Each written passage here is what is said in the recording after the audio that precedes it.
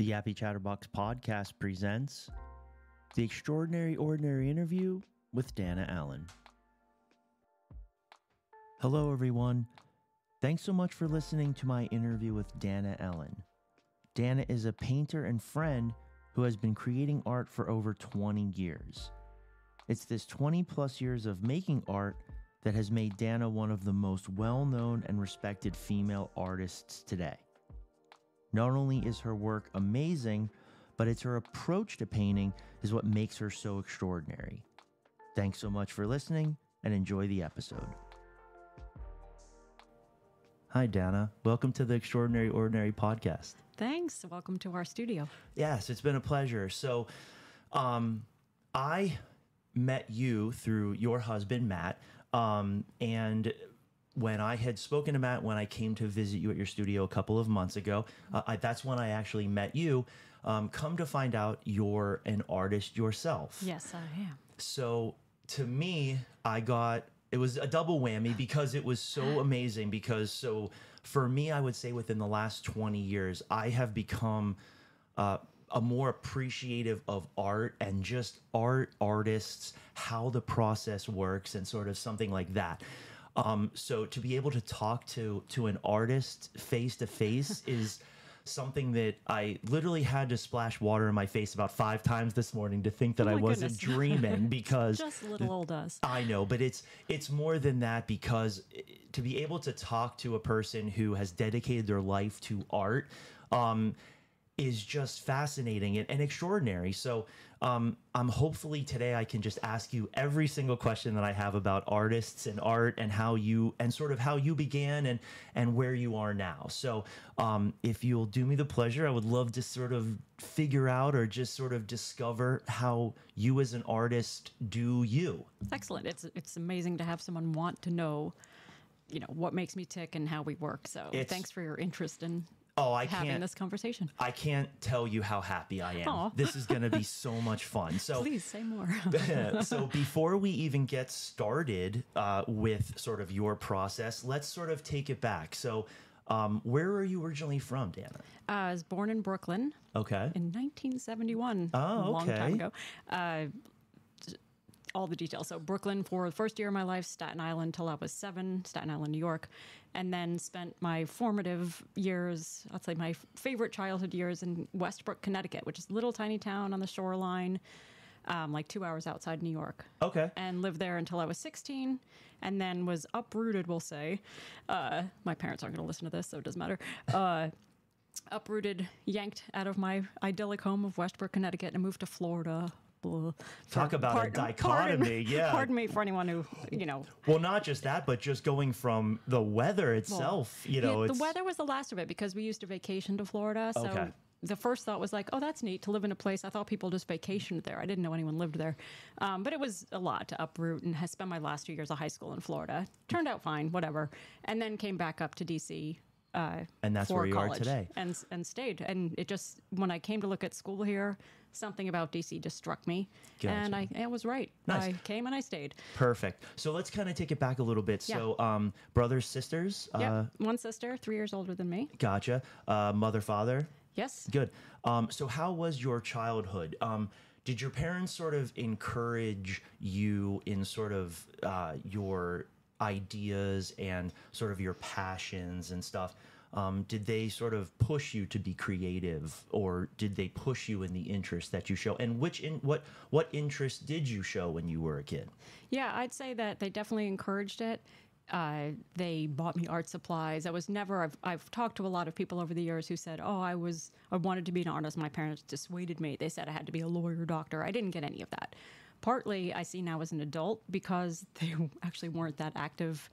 Generally speaking, I, I was very much left to myself. But on the plus side, that worked for me because the type of person I am or nature nurture type of person I became was very self motivated. Um, so they encouraged it. They never, ever, ever dissuaded me. They were happy enough for me to be doing that. So you started art at an earlier age. Yeah, I, showed talent for it, but I, I, looking back, I see a lot of kids. Every, every kid is a, an artist, right? But I was happy to be nourished and, uh, like I said, given art supplies. And in school, my school in Connecticut was tiny, tiny. And what happens in small schools, I think anywhere, is everyone f- winds up filling a role. You've got the jock and you've got the this and the that. I was the artist kid. So, being the only artist kid, a class of 50 people, I was encouraged by the art teacher. So, I had the same art teacher growing up year after year. So, it was definitely that's probably the most formative part was going to school. Everyone has art class, but I was always singled out in a good way. Dana's the one Dana's the artist.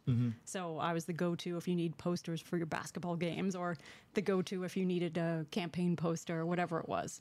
Um, and also, just like I said, the art teacher, I would imagine they were thrilled to have a student with some talent and someone to encourage. Um, did you have any other interests? Did were you into sort of other things, or was sort of art your main um, sort of passion and, and interest, or did you have any other hobbies? Were you interested in any other stuff? I, art was definitely the top. I played piano. I was pretty good at that for a bit. My father was a musician. I mean, he was a hairdresser. He was a musician. And then he also had a, a real job, as people say. Uh, so that helped, like fostering that kind of lifestyle. Like there's definitely a creative type in him. Was there uh, was there a was there a, a similarity between painting and piano? Did did they complement each other for you? Um, no, I think piano was just something I enjoyed and took lessons and did well at. But other interests, I think I spent so much time. I had one best friend, uh, and this is something we get into more in personality side. So growing up, I always had one best friend, and now you know Matt is that for me now. I'm not someone who ever had a circle of friends, so I had a lot of time to myself by choice, by just who I am as a person. So I spent my time in my room was my favorite place and still is. I jokingly call my studio my room. I'll tell Matt like I'm I'm going to go to my room now and I close the doors. Like my room is the most important place growing up. And I loved being in my room drawing pictures. Just I was all fashion models and typical kind of girly stuff. I never drew horses. I never did that girl thing. Uh, but art was my favorite and only major hobby. And it is a solitary activity. So it really fit me in all ways. Other things I would do, though, I'd go out hiking. We lived in a very woodsy place. So I just enjoyed being out, walking around, hiking, playing with my dog, uh, doing art. Uh, that's really, and listening to music while I did it. Now, did your art?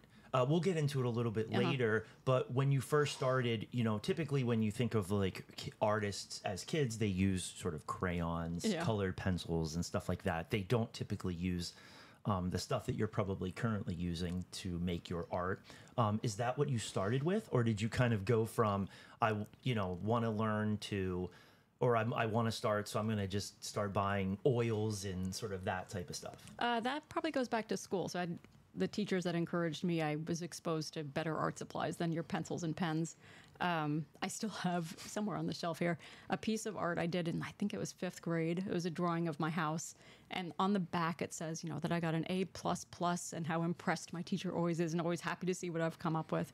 Um, but I mean, in my when I was doing art in my room, I had I had some more art supplies than your average kid. Um, like I said, because they were purchased for me, and it was very great that I was exposed to some better material. I wouldn't say I got into oil paint ever until probably high school.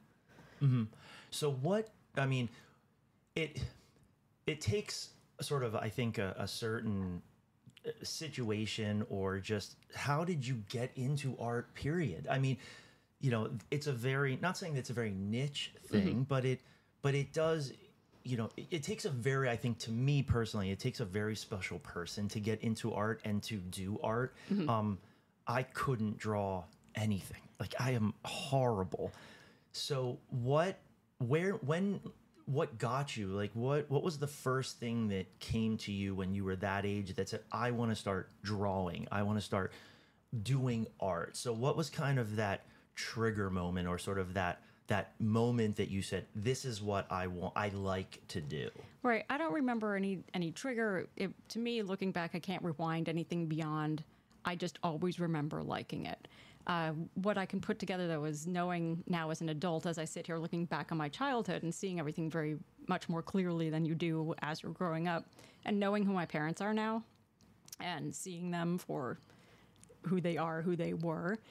Uh, I think naturally I just like doing art, and then how it was built is because, like I started to say, that they were kind of not hands off, but they uh, they weren't uh, the most nurturing or you know nothing bad. I'm not here to to throw them under the bus, whatever. Absolutely but, um, not. No, they weren't. I how do I even say it? They left me to my own stuff, and that could have been really bad for some other type of kid.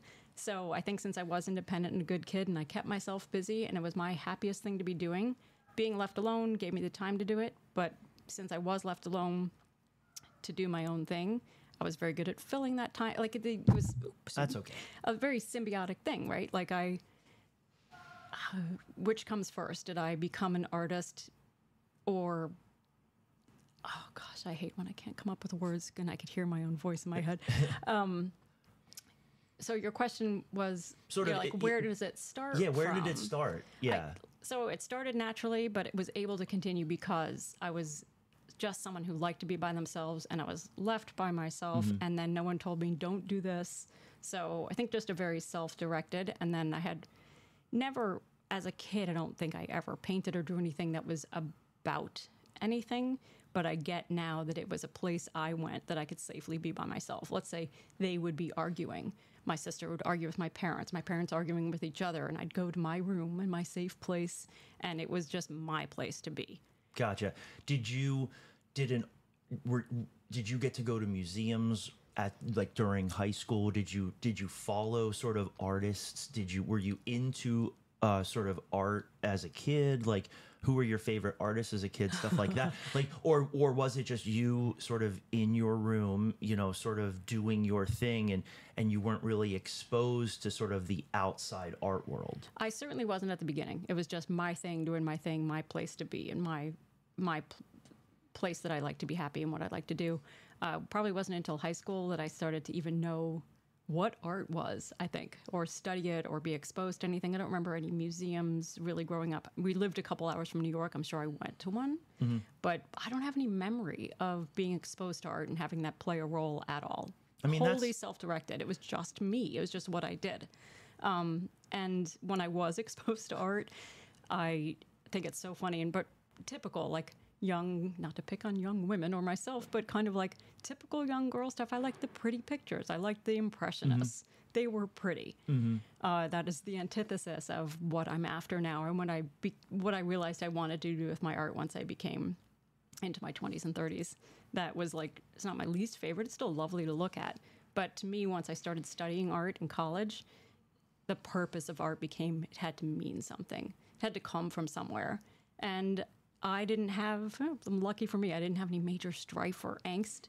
And I didn't go looking for it, but life will bring you purpose and it brings you experiences. And so with every year that goes by, you realize you have more to pull from, and therefore my art got better um, in many ways. That's a whole other thing to dive into. So speaking of um, college Mm-hmm. art in college, um, did you know? Uh, so senior year, high school comes Uh-huh. around. You know, you're the you're the artist of the school and Yes. stuff like that. Um, were your plans to go to art school, or were you like every sort of other high school kid, where it's like, oh well, I've got to go to college to get that degree in business or you know teaching or something like that. So what were your plans uh, for after high school? Yeah, absolutely not art school. Even growing up, I never thought I'm going to go to art school. I, I didn't think the words I'm going to grow up and be an artist. I didn't know that was even an option. Uh, that's something I like to do. I don't think I ever really thought about growing up to be an artist or one way or the other. Uh, so the small school in Westbrook, when I moved to Florida, I was no longer the singled out good art kid. It was a school, I think I had 800, 900 people in my graduating class. I went from 50 to 8 or 900. That must have been an experience. It was, it was, but it was good for me. It Mm-hmm. just, you know, it shook things loose. It's like, all right, it's a bigger world out there. It was a good step. Uh, but I did find my place because I wound up being president of the arts club. Wow. And uh, so I still was, I guess I still was top of the pile, even in school that large. So that's cool. Um, but I didn't, I knew I wanted to come back up north. So that was why I chose the school. I went to George Washington University. oh, okay. And so, no, I had no interest in going to art school. I, I'm a smart kid. I, I actually you know, didn't have to take math in college because I should have still because I was good at it. But I was in AP calculus in high school. I was in AP this and AP that. I was 4.0 student, well, 3.8, whatever. If anyone checks the records, they don't want to be fact checked here. We're gonna go. Everyone's gonna go on to George Washington. Yeah, George Washington's record yeah, books. and to- to Coral see. Springs High School. Yep. Um, no, I was a good student. I, I loved learning. I still do. is a big part of my art. Is I study things, and that's what where my paintings come from. So yeah, in high school, I was like, not to say art school is for people that aren't smart, but knowing that I was smart, I am smart. I like to learn. I wanted an academic degree, so I looked at schools. GW spoke to me. DC spoke to me. So that was sort of the biggest thing. I didn't choose Georgetown because their art program wasn't as good. So I still wanted to, of course, get into the arts, but I wanted a good school first, and then I would do art and figure it out. So I came to GW. I ended up being an art history and fine arts major because the practical side of of Dana was like, you need a degree in something that you can get a mm-hmm. job, and then the double major was was great that I could do that, so I could still pursue the love and a career that had to do with the things I love. So I did art history and fine arts uh, major at George Washington. Okay, so you so you went into George Washington with sort of the idea that you would come out with uh, sort of a job and going the into in the arts. So Right.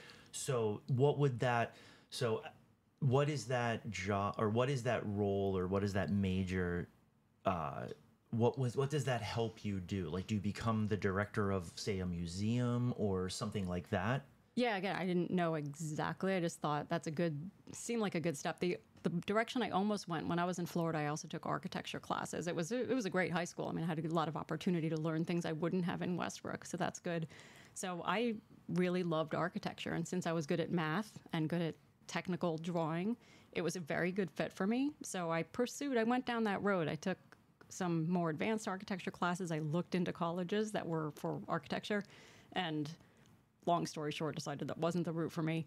Um, but yeah, so I, I did the art history and fine arts degree, and being in DC with all the museums, I said, first step, get the degree here. I love this place.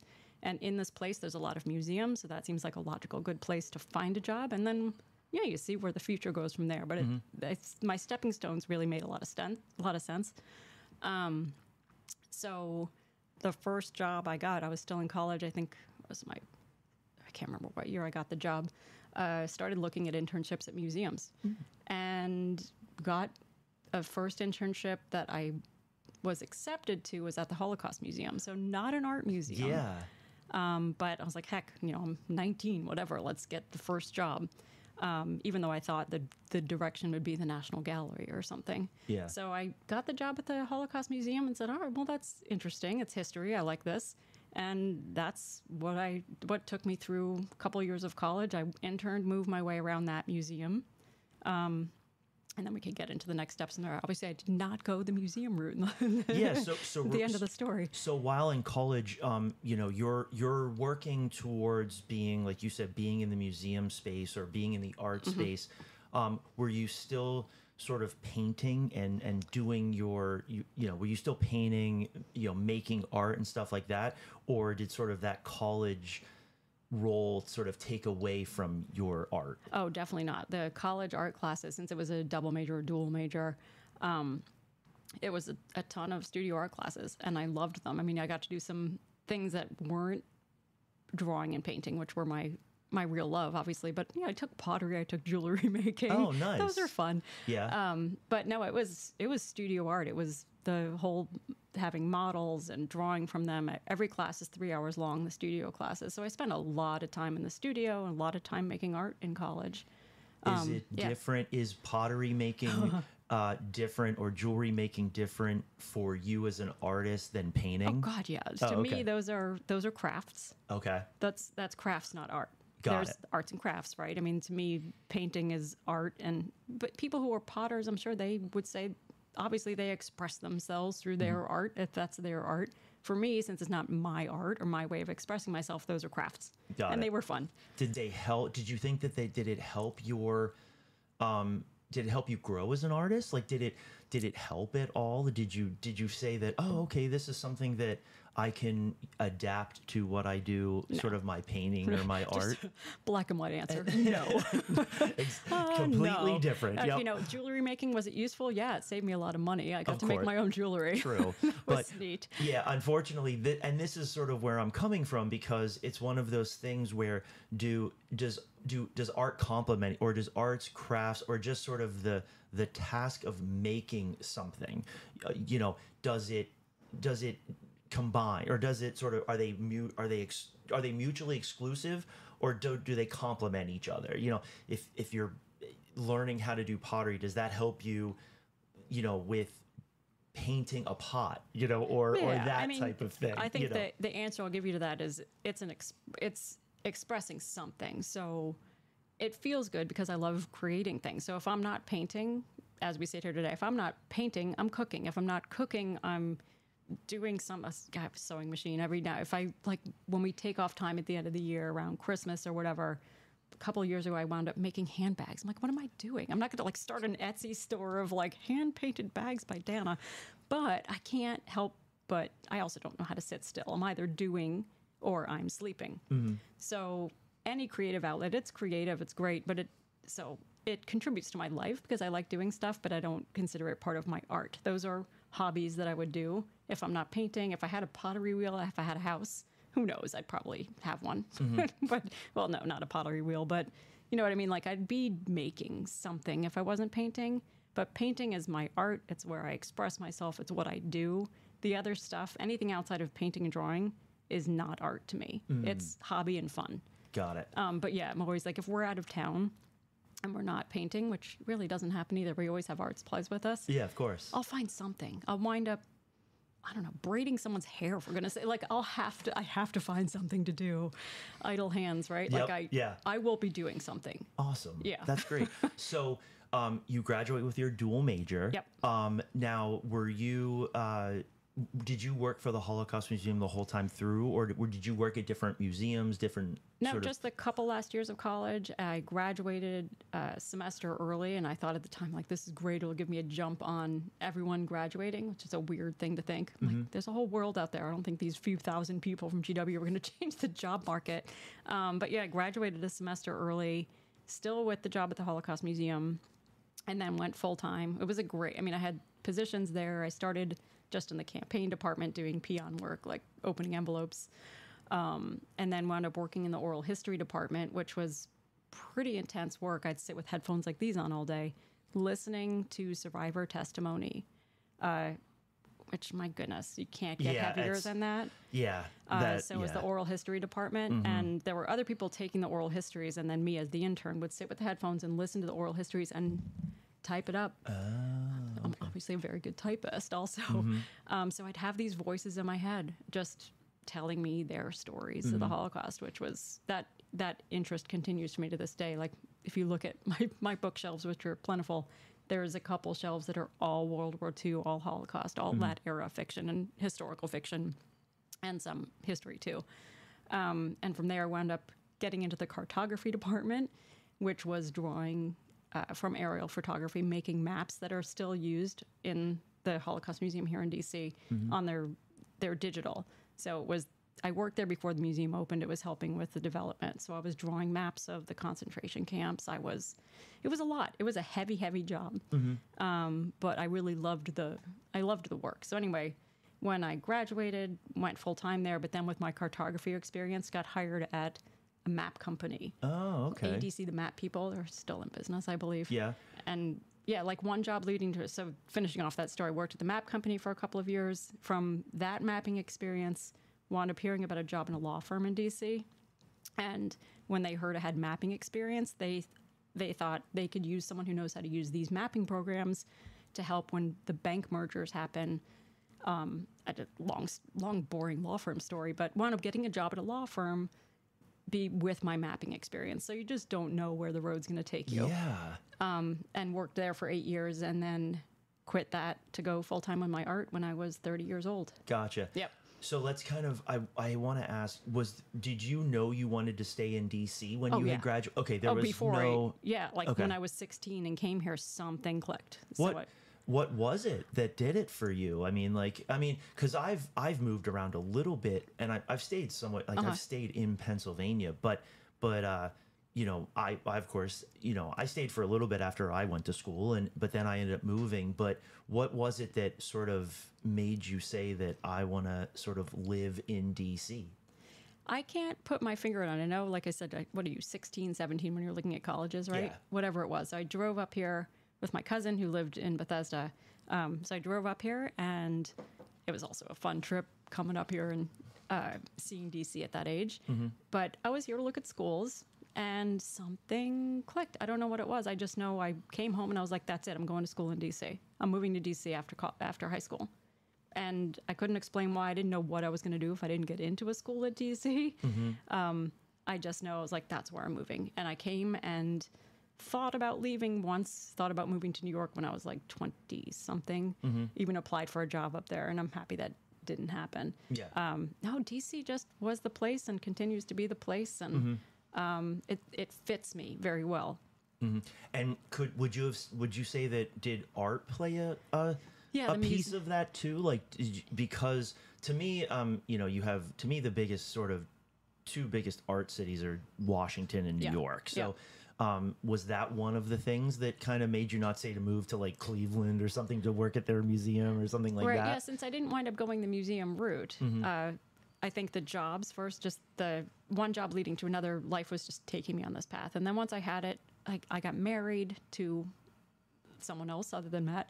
Um, you know, married really young, right out of college, and fo- I just was following this very basic trajectory. Mm-hmm. It was good. It was successful. I was happy enough, right? Like I was doing my art on the side. I have a good job. I have bought a house in Rockville. I was married. The whole mm-hmm. nice little package, right? And a couple of years go by, and I, I even had a room in my house for my for my art for my studio.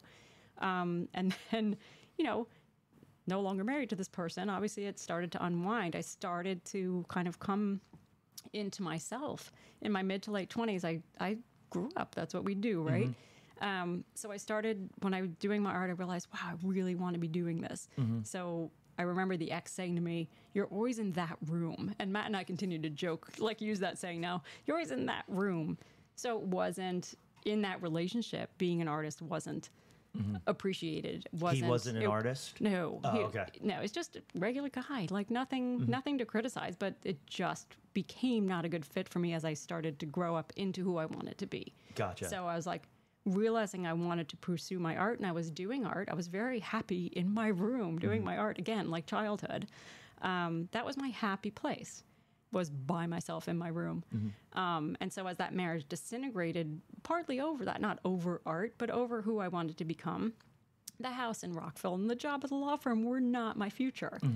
I the other joke that came out of it was, I don't know what you think is out there. I'm like, oh, I think there's a lot.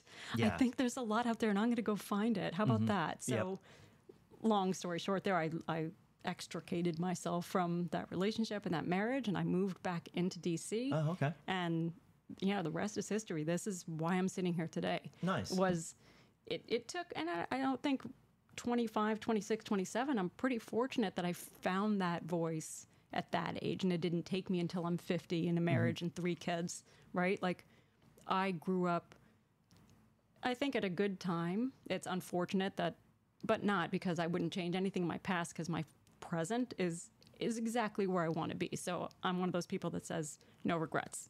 Mm-hmm. So it's a good thing that marriage happened. Um, and we and Matt and I can get into that because we both say that about our ex marriages. Without our exes, we wouldn't be married to each other. Mm. Um, so it's all good, but it, it makes total sense to me how it all un, unwound and uh, how I landed here. Gotcha. And I was an active participant in that, right? I didn't just go, oh, well, I guess this is my life now. Like I actively pursued what I wanted. And, um, you know, I might not be the most artsy person to meet. I'm, I've never been with the weird hair or the weird clothes. I'm a pretty straight knit looking person. But what, you know, what goes on inside? And that's yeah. The, uh, never judge a book by its cover. Not I think. at all. Yes. And my favorite thing that used to happen at art festivals is people would come up that have seen my work and like you talked about earlier before we got on the podcast about how you found Matt's work, right? Um, and 20 years ago, but it took 20 years before you met him. So I've I've had that not 20 year story, but people who have said, "Oh, I've known your work for X, you know, X number of years," and then they meet me, and I was told more than once back in the festival days, "Wow, you're you you look so normal. Like I didn't expect you to look like this, um, because they only knew my art, and my art made them think I was going to have like three heads, and you know, I don't know what exactly they thought because nowadays it'd be a different description. But um, yeah, I I don't present that way. So, so you mentioned about how you were doing chartography and like Yes. that type of thing. Did that, um, did that help you become a better artist? Or so you were doing chart- chartography as well as painting i assume. So you were Yeah. doing sort of your thing on the side. Right. did they complement each other? Did they um, were they sort of completely different? Did you learn how to do one based on doing the other? Sort of how does that work? I mean because uh, i've seen your art now and i don't know i I, Mm-hmm. I I don't know again i don't i've looked at your website and and and seen your art but i don't think it goes back that far Yeah, or it goes it back to probably the late 90s. There's Oh, a couple of things from pre going full time. Gotcha. Like some, you know, old stuff when I was just noodling around with it right before I really took it on. So, so what was that?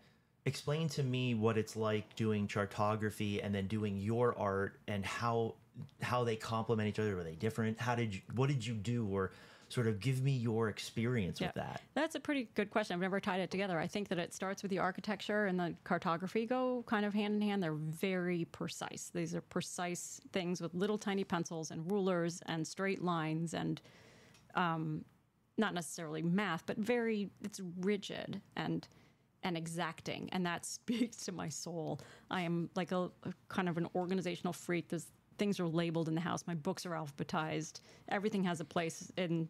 Um, yeah, it's my natural place is to be a little uptight, maybe. um, or let's just say orderly. I'm very orderly, so it, the cartography and the architecture speak to that side of me. And my art in its natural place, and probably because I was trained, I and trained to also do well and trained to get A's. I, I'm an A student. I got A's in art class because I did it right. And part of my artist statement that I wrote years and years ago is I'm trying to unlearn all of that. So I've been 20 years in now of full time painting, trying to unlearn that exacting thing. Everything doesn't have to be perfect. Everything's not, it's not a photograph. Now I love uh, photorealistic paintings, they're impressive, but it's not what I want to be doing. But my natural place, if I'm left to my own devices, I'm going to be drawn to that painting in the museum that's perfect Mm-hmm. and I'm going to want to go home and paint something perfect. And so I have to tear myself away from that, go look at the German expressionists, go look at a Pollock. I'm, I don't like the drips, but I love the story. I love the expression. I love the emotion. It's not my natural place. So the things that speak to that orderly part of my my artistic self that makes sense. It was kind of nice to have that satiated at work so I could then come home and paint and do something that meant something that used you know used your whole body. And I- i'm not one to throw myself into it but it's it's very different. There's orderly stuff and then there's art. But if i'm if i'm just painting without reminding myself to loosen it up i will do tight little perfect things. And it's not where i want to be. I'm good at it. I'm very good at it. I can make pretty little pictures but it's not what i want to be doing. Yeah. Um, so you're you're doing your art on the side. Um, do you are you just doing it for you while you're doing the cartography stuff, or at what point do you start to paint and say, well, maybe I could sell this, or people want to buy this? Yeah, I was I was doing that all along the way, and that's Oh, why the contention in the ex marriage. It was I was doing this, and it starts off just with friends. Everyone starts that way, like your friends want this, and I was doing sculptures. There's a silly one still sitting up there that I used to do. Um, and there's a whole Matt and I story behind that too, which we could get into later. It's pretty funny. Um, so yeah, I was I was trying to sell it at this point since I had the job and I was doing my art and I'm in my mid to late 20s now and I start realizing I can do this. I I want to pursue this. I want to do my art and I never remember thinking exactly like my goal is to be able to quit my job and do this, but I knew I could do it and I knew I and I was doing it on the side and started selling it. I started pursuing shows. Um, and it was tiny and not much at the beginning, but yeah, no, I started. I did not just paint for myself. I painted because I wanted to start to do this for a living one day. Yeah. and I was going to see how to get there. Did your coworkers at the chart, like at the attorney, the law The law office, firm, the yeah. law- did they know that you were a painter? Oh, yeah, And yeah. what did they? Did they like? Oh, she does. Were they sort of? Were they interested in it? Were they? You know, did anybody ever from the law firm buy any Oh, of your? definitely. Okay. Yeah, yeah. And it became another situation that kind of like in my small school in Connecticut, I was the artist, right? There's this big group of people, or not so big group of people, and everyone plays a role. And so here we have this big law firm, like biggest firm in DC, one of the biggest firms in DC, and there's again 800 people, whatever they are, into this in this office space, and out of all of them, I still was known by pretty much everyone because I was the artist. Uh, I had a job as it was the graphic arts department where I started there. So all in all, I mean, you have this law firm full of lawyers and secretaries and whatnot, and there's only one graphic artist. So I was again that one person. Oh, it's Dana the artist. So they knew I was on the side. It was also my job at the law firm. Anything outside of law or the basic stuff, if no one knew where to turn, they're like, that must be a job for Dana, like because it doesn't fit into any of the other departments that everyone knows about. So yeah, I was the the go to for anything creative in the firm as well. Nice. Um, so do you, uh, it kind of it probably happened way before, but do you remember selling your first painting, like the first real sort of official? I just sold a painting. Yeah, I think Yeah. I did. Well, maybe not the very first, but Of the course. first one that I remember is significant. It was um, the movie Frida came out. Okay. Yeah. Yeah. If you remember that, I don't remember what year that was. Probably 2001 ish, 2002 maybe. Um, so, as the art history buff that I am, and all of that, of course, I went to see it, loved it, uh, love her work, and came home and painted a portrait of myself as Frida. I mean, not the most creative thing, but it's what I, I do a lot of riffs on classic paintings. So, it's a painting of me as Frida and like the red dress, and gave myself a nice unibrow and holding a picture, h- holding my cat, and then I put Frida's face on the cat. It's a little surrealism mixed Oh, in. nice. It was a beautiful, very tight, you know, very Dana at the time, tight, perfect oil painting. And it sold and it was it was great because it was a self-portrait. It was something about me. It was something current. And and it it that's interesting. I've never really thought of it this way as that being the first painting I remember selling because it was for real money, not just like a $20 thing. Um, it was a real official painting. And I was very proud of it. And it's it's funny that it was a self portrait. And uh, yeah, it, it fed what I needed, which is this is a direction that will work for you. Yeah. So you just continued to. So you were doing both. So you were working for the law Oh, yeah. firm, and and then so was the was the law firm the last uh, sort of professional job or not, not? Please don't take it that way. But was was or the corporate? Let's say corporate, Corporate, yes, job. that's the right word. Was was was the law firm the last corporate job before you decided to become an artist full time? Oh, yes, it Okay. was. So it was eight or so years there. And I asked to go part time. Oh, okay. I thought, you know, I've, I'm doing a good job here, and I think that it's respected, and I know I could do what I'm doing. You don't want to tell your boss mm-hmm. that I could do what I'm doing in half the time. So mm-hmm. what are you doing with the rest of your time here? I asked to go part time, thinking it would be a nice, safe thing to do, and thank goodness they said no. And I think mm. what they expected is to say no, and I would stay like a good girl. And I said, they said no, and I was like, all right, then I quit. And they were surprised, and I looked back and was like, that was a huge risk. Well, that was I was It was to a huge yeah. risk. So, what was the deciding factor? Like, what what sort of put you over the edge that you said, okay, I can quit my corporate job and become an artist full time? So, what was that? Sort of, what was the sort of the the the tipping point or the stepping stone or sort of the big thing that happened that made you say, okay, I'm going to do this? Well, it's kind of a. So I was already uh, divorced at this time. Um, so I was on my own. I was taking the bull by the horns. I was like, this is it. This is my life. This is what I'm doing. I'm going to take a risk. I'm only 20. Well, how old was I? 29 years old. Wow, I'm losing track of time. No, it was 30 because I divorced at 29, 30. So let's say I was 30 ish.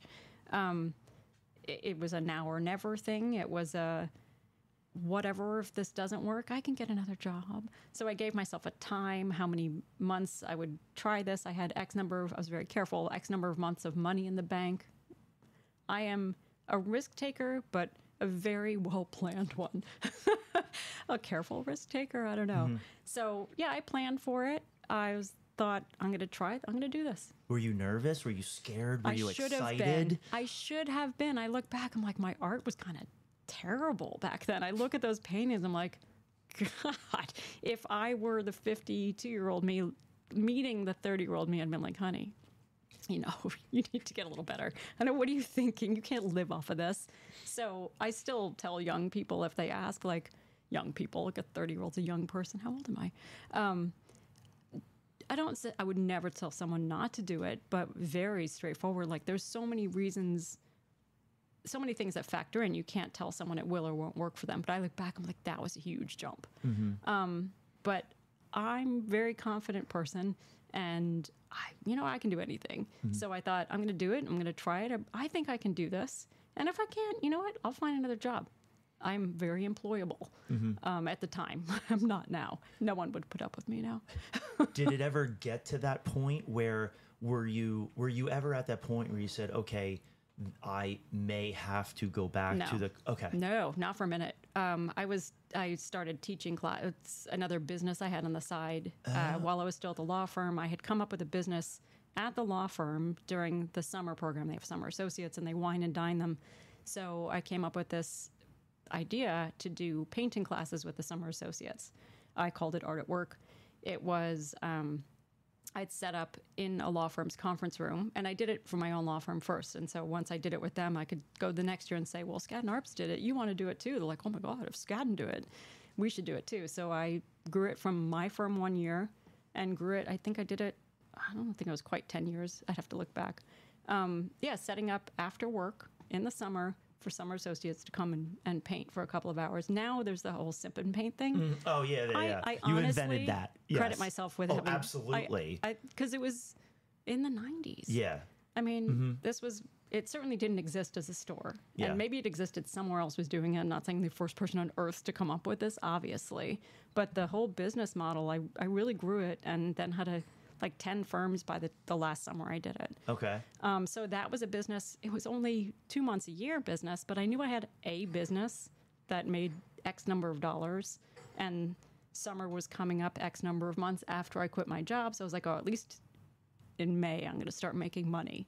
Um, so that was part of it, but that certainly wasn't going to be enough to live on. But it was something. So you taught people how to paint, In, or you summer- you help, or like they it was yeah. So they were explain that- yeah, they would copy. for me. Yeah. So yeah.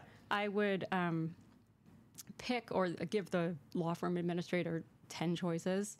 Say a Picasso, a Van Gogh, like recognizable classic paintings. And I won't say they were easy to copy because they're freaking masterpieces, right?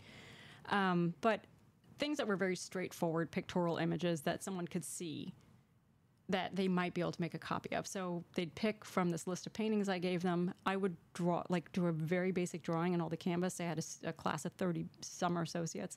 I would sketch it really quick, just the outlines on the canvas. Give everyone a palette, give them a five minute blah, blah, blah. This is how you paint, here's your tools. And then just spend a couple hours walking around the room facilitating and people would make these great copies of mm-hmm. masterpieces and then the law firm might have a little show of them the next day whatever it was mm-hmm. Can the painter? The painter can paint, but can the painter teach? Yes You were very good. yes Uh, yeah. I, I'm, I'm so obnoxious yes I'm No, no, no. I just again, it's it's one of those things, you know, where you know, it, the what is it like? The athlete is an athlete, but the athlete can't coach. So Right. the painter is a very good painter, but can the painter teach painting? right and it's i like to be the complete opposite of that horrible saying that like those who can't Yes. teach like Yep. that's a terrible thing to say to teachers who were good at their craft but i was a painter who could teach not a teacher who could paint um, I yeah, I was very good at it, and I knew that because the other job I had the law firm, I wound up heading up their training department. So I had learned that I was already good at and enjoyed that process of teaching. So I was teaching lawyers how to use computers because that's how old we are. I was getting them. They, I was like their first introduction into using computers and Word Perfect and Word and all that. Um, so I learned I, I enjoyed teaching. So I was like, well, if I'm going to teach people how to use computers and programs, I could surely teach them how to paint because I know a lot more about that. Um, yeah, it was it was fun. It was a it was hard work um, because it was a lot of schlepping, a lot of bringing Yeah. 30 canvases and 30 easels and all the paint and everything. Um, but it was a, it was a good business. I'm very proud of having done it. And Nice. then that too, that ran its course. How long did that last? Um, I, I'd have to go back, but I think seven ish summers. I, Oh, did, I did that. Yeah, yeah. Okay. I, I grew it every year. Gotcha.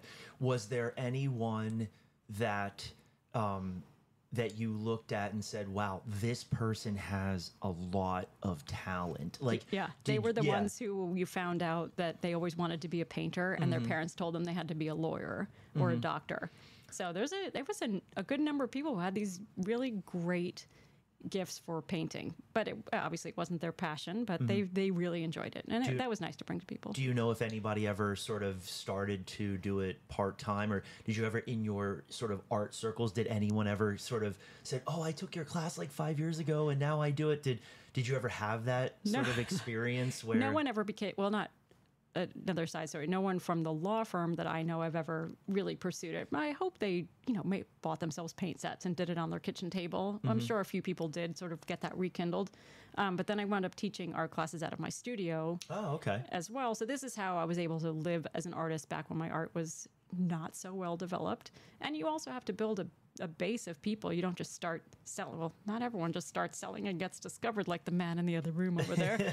um, so yeah, I mean, it's interesting. Our conversation has been so much on my business end, um, and yeah, I've always had this living, breathing artist inside of me, but it has taken a very normal set of steps, right? I was a normal person, went to high school, went to college, got a good job, and this is the advice I'd give anyone that wanted to pursue it.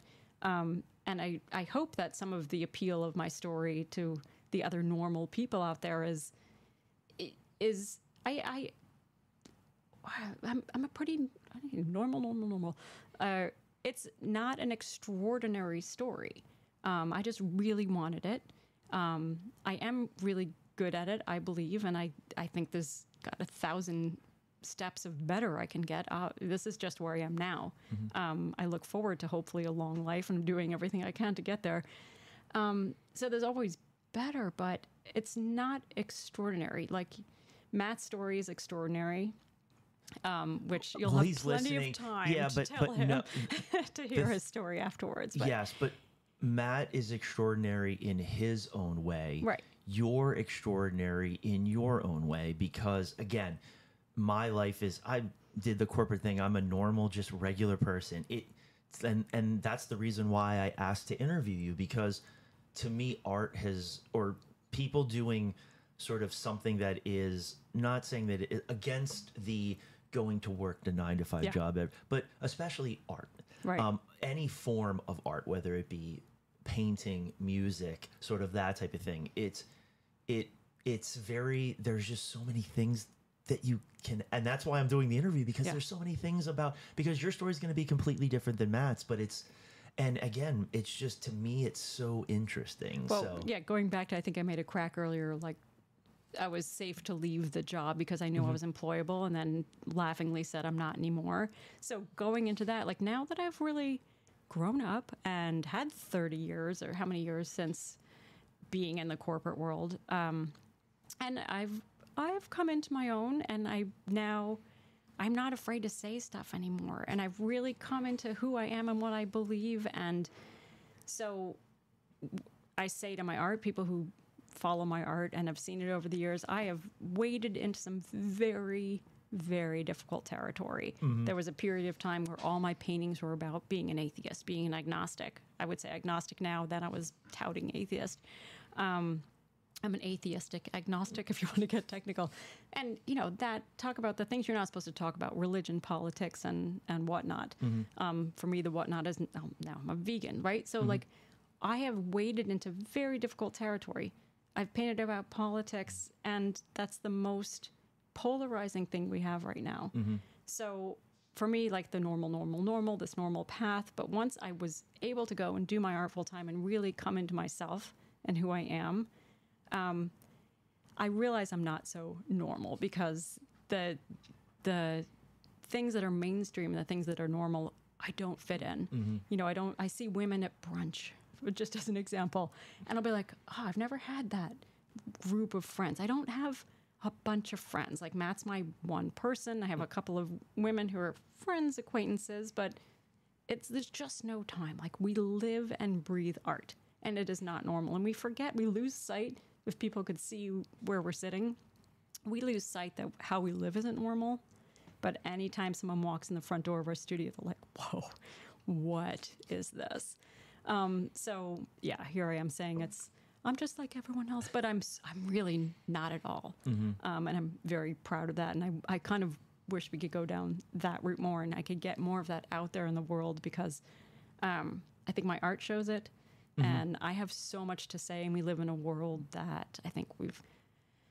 Uh, it's become less safe to really express yourself with Oh, words. absolutely. The art, I can get away with some stuff, right? Like I can get away with shit with my art, but that I won't say out loud um, because it's too black and white when you say how you actually feel. But that's thank Mm-hmm. God for the paintings. Yeah, that's what I was gonna, and we can go through that. But but again, the paintings, the words are are out there, Yeah. and unless they're recorded, you know, the way Yeah. the way. It, but to me, you're you you're saying your point through your paintings because they will last. Yes. You know, so the words, you know, saying stuff may only last a day, Yep. two seconds, but but the art will be forever. Yeah. So, um, so let's kind of. So I have a. I want to ask. So you you full. You've decided. Okay, I am going to quit my job at the at the law firm.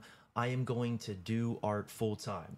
Um, who was your biggest? Uh, who was the biggest encourager of you to do that? So who was the one that said, you know what, you should do this. I think you're great. Sort of who encouraged you the most to make that, or sort of after you made that decision, um, you know, gave you the sort of the the positivity that helped sort of put you on that path. Two answers to that. The first one is me, as it has been my whole life. It's me. I've done this. I did this myself. Nobody helped me. Um, you know, thankfully, I had my parents gave me shelter. They gave me anything I wanted. Right? I was, uh, I was very fortunate on that. But it's it's me who did and got myself everywhere. Um, and quitting my job, it was me. I was a single. Well, Matt and I had just met, Okay. so I'll, I'll. The second part of the answer is it's also him, but first and foremost, me. I did this. I encouraged myself, and I knew I could do it. Um, the second part is when I uh, met Matt O'Stoll, the law firm. I met him, knew he was a full time painter, and was very interested to meet him and talk to him about that. Um, so, but we're dating. Like, it wasn't like there was some future I knew was held in this, but it he did play a role in that. I had met him at that juncture. I thought, all right, this is what full time art looks like. I went to his studio and I was like, well, this is this is a mess. I need to clean this place up. No, um, you'll hear more about that later. well, it's I'm kind of funny. We're in your studio, and I I went to go to the restroom, and I walked through your studio, Right. and then I walked through his, and Two different worlds. yes, it is very. It is you. It is definitely the whole like yin and yang Yeah. sort of thing. But it was. It. I. I had a. I just realized that when you sang that, it. It, it is true. So it's kind of funny. yeah. Yeah. so so it was me that did it. It was me that let myself do it told myself i could do it and made it happen. Um, but it does it's inextricable from the time that he and i met and what role that played as well. So i was like all right here's a guy. I just met this guy. As a full-time painter and i picked his brain a bit. And um, to me i have to see things. I always have to try the shoes on and walk around in them too. So i thought oh i'll, I'll give it a try. Like i said i'll I'll try on these shoes. I'm going to quit my job give it a whirl. And if it doesn't fit, well, we'll take a new direction. But yeah, I met him right at that at that point, so that played a role as well. Who was your biggest distract or uh, discourager? Let's say who said that? Oh, Dana, you're crazy. Why are you quitting your? No one. one, Oh, because okay. I, again, I didn't have. I was single, and I'm me, and my parents don't play a role. Didn't play a role in my life, Mm-hmm. in my adult life. Like they were there. I mean, it's speaking to them, whatever. Mm-hmm. But they were not people who had the um, the the grounds, even if some they're your parents. But to me, the relationship was not one at which they had any grounds to tell me anything. Mm-hmm. Um, and they didn't, good or bad, right? Um, they never tried to tell me do or don't do stuff. Mm-hmm. Um, but that's just not who they were, and that's not the type of relationship that was there. So yeah, mm-hmm. I, I didn't have any detractors. nice. Well, That's I didn't have any. Well, anyone- there you probably just had the way I critics. like it. Yeah, or critics. You might have had critics, but Oh, they- I'm sure they were out there's there going, Always, yeah. yeah. there's always critics, but but more so, it's it's that thing of is who you know you kind of have that person that encourages you, and then the person that always sort of makes you sort of double think or sort of say, well, did I do a good thing or did, was this a good idea? Yeah, and maybe I'm delusional. Maybe someone I, I don't know who it would have Mm-hmm. been because again, I wasn't in in touch with anyone. There was no one there. I was, Mm-hmm. and maybe that's willful ignorance or purposeful setting up my life. Like I don't want to hear it, so I just don't talk to anyone.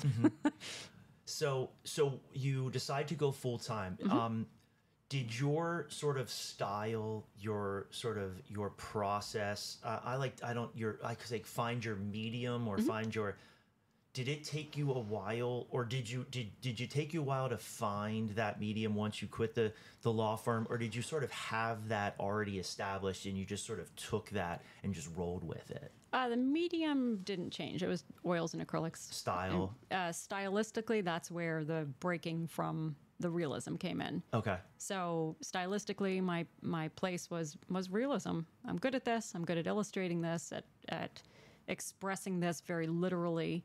So what happened after I went full time was when I was given the opportunity mentally and uh, physically in that time and space. Right, I had the time and the place to really explore things. So it wasn't until I quit and went full time that I like finally tried to explore different styles and started to explore expressing myself as opposed to just painting an idea. Yeah. Did you try like what kind of what were those sort of techniques or sort of things that you tried and stuff like that? What was it? Different paints? Was it different? Um, sort of what you painted on uh, the um, the themes, stuff like that. Yeah, this is where the, the timing with Matt comes in. So since we had just started dating and just met, um, his style was the influence. It was Matt going, "You should circle the mouth. You should, or circle the eye. You should put red lips." That's our running joke. Like, just circle the eye and put red lips on it. It'll be better. So if you look at the art I was making right when we met, you will see the Sesow in it. You will see Matt's voice uh, influencing that. But he was obviously the closest person in my life and the closest art I had exposure to. So it makes sense that that's going to rub off the most. Um, but I wanted to keep that in check and put it in its place. So it was more about than just going to museums more because I had the time. So I was exposing myself to everything, and I'd come home and experiment and goof or like fool around in, say, I saw a Modigliani exhibit that day. I would riff on Modigliani that day. So I just I would try everything, um, and then I the way I see it is you try a little bit of everything and something sticks from that. Yeah, that was my next question. So how long after or how soon after did you say, okay, this this works, this sticks? Like I this is where I feel the most comfortable. I don't think there is Or- any one thing because if you if you look at all of my work, mm-hmm. it's a little schizophrenic. I find myself, I think I'm very sane, but my mm-hmm. art might lead you to believe I'm schizophrenic, that I might be like at least three, four, five different people. Mm-hmm. Because on any given day, like there'll be maybe three, four days where I'm I painted crows, right? They're like mm-hmm. Yeah, I've pretty noticed that, crows yeah. or um, coming up in April, I'll probably spend a week or two painting pretty little watercolors of cherry blossoms and bees. And then partly is just because I have all these different styles I like to do that I, I like to explore them. And one day, this style is best for this subject matter, and this style is best for a different subject matter. Um, and they all live inside of me. It just depends on depends on the day and the mood. Um, I was going somewhere else with that. Oh, which one sticks? There, there's. I always thought that one day, I guess it could still happen. Hopefully, I still have 50 years of painting left in me. One day, something was going to stick. So that's why I was try everything, take a little piece of it, and eventually they'll all coalesce into Dana's style. It still hasn't happened. But I guess my style is all of these styles, or I'm just telling myself that. But there's, I have cubism, I have realism, I have expressionism, I'm all these things. And I still do believe I'm supposed to coalesce into something one day, and I still believe it'll come. Um, but for now, it's a, everything has its time and place. So it depends on what I'm trying to do with my art, what's the message that day, or what's my subject matter, and that's the style that comes out. Gotcha.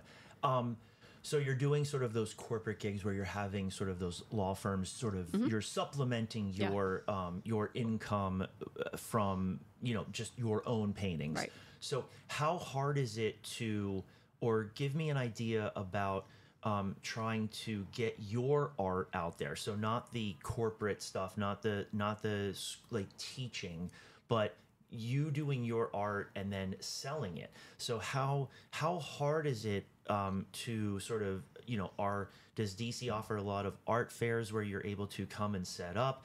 Um, are you sort of just every weekend doing something? You know, or are you traveling to different cities to sell your art? So sort of give me the the Dana personal art selling and how again was it a struggle?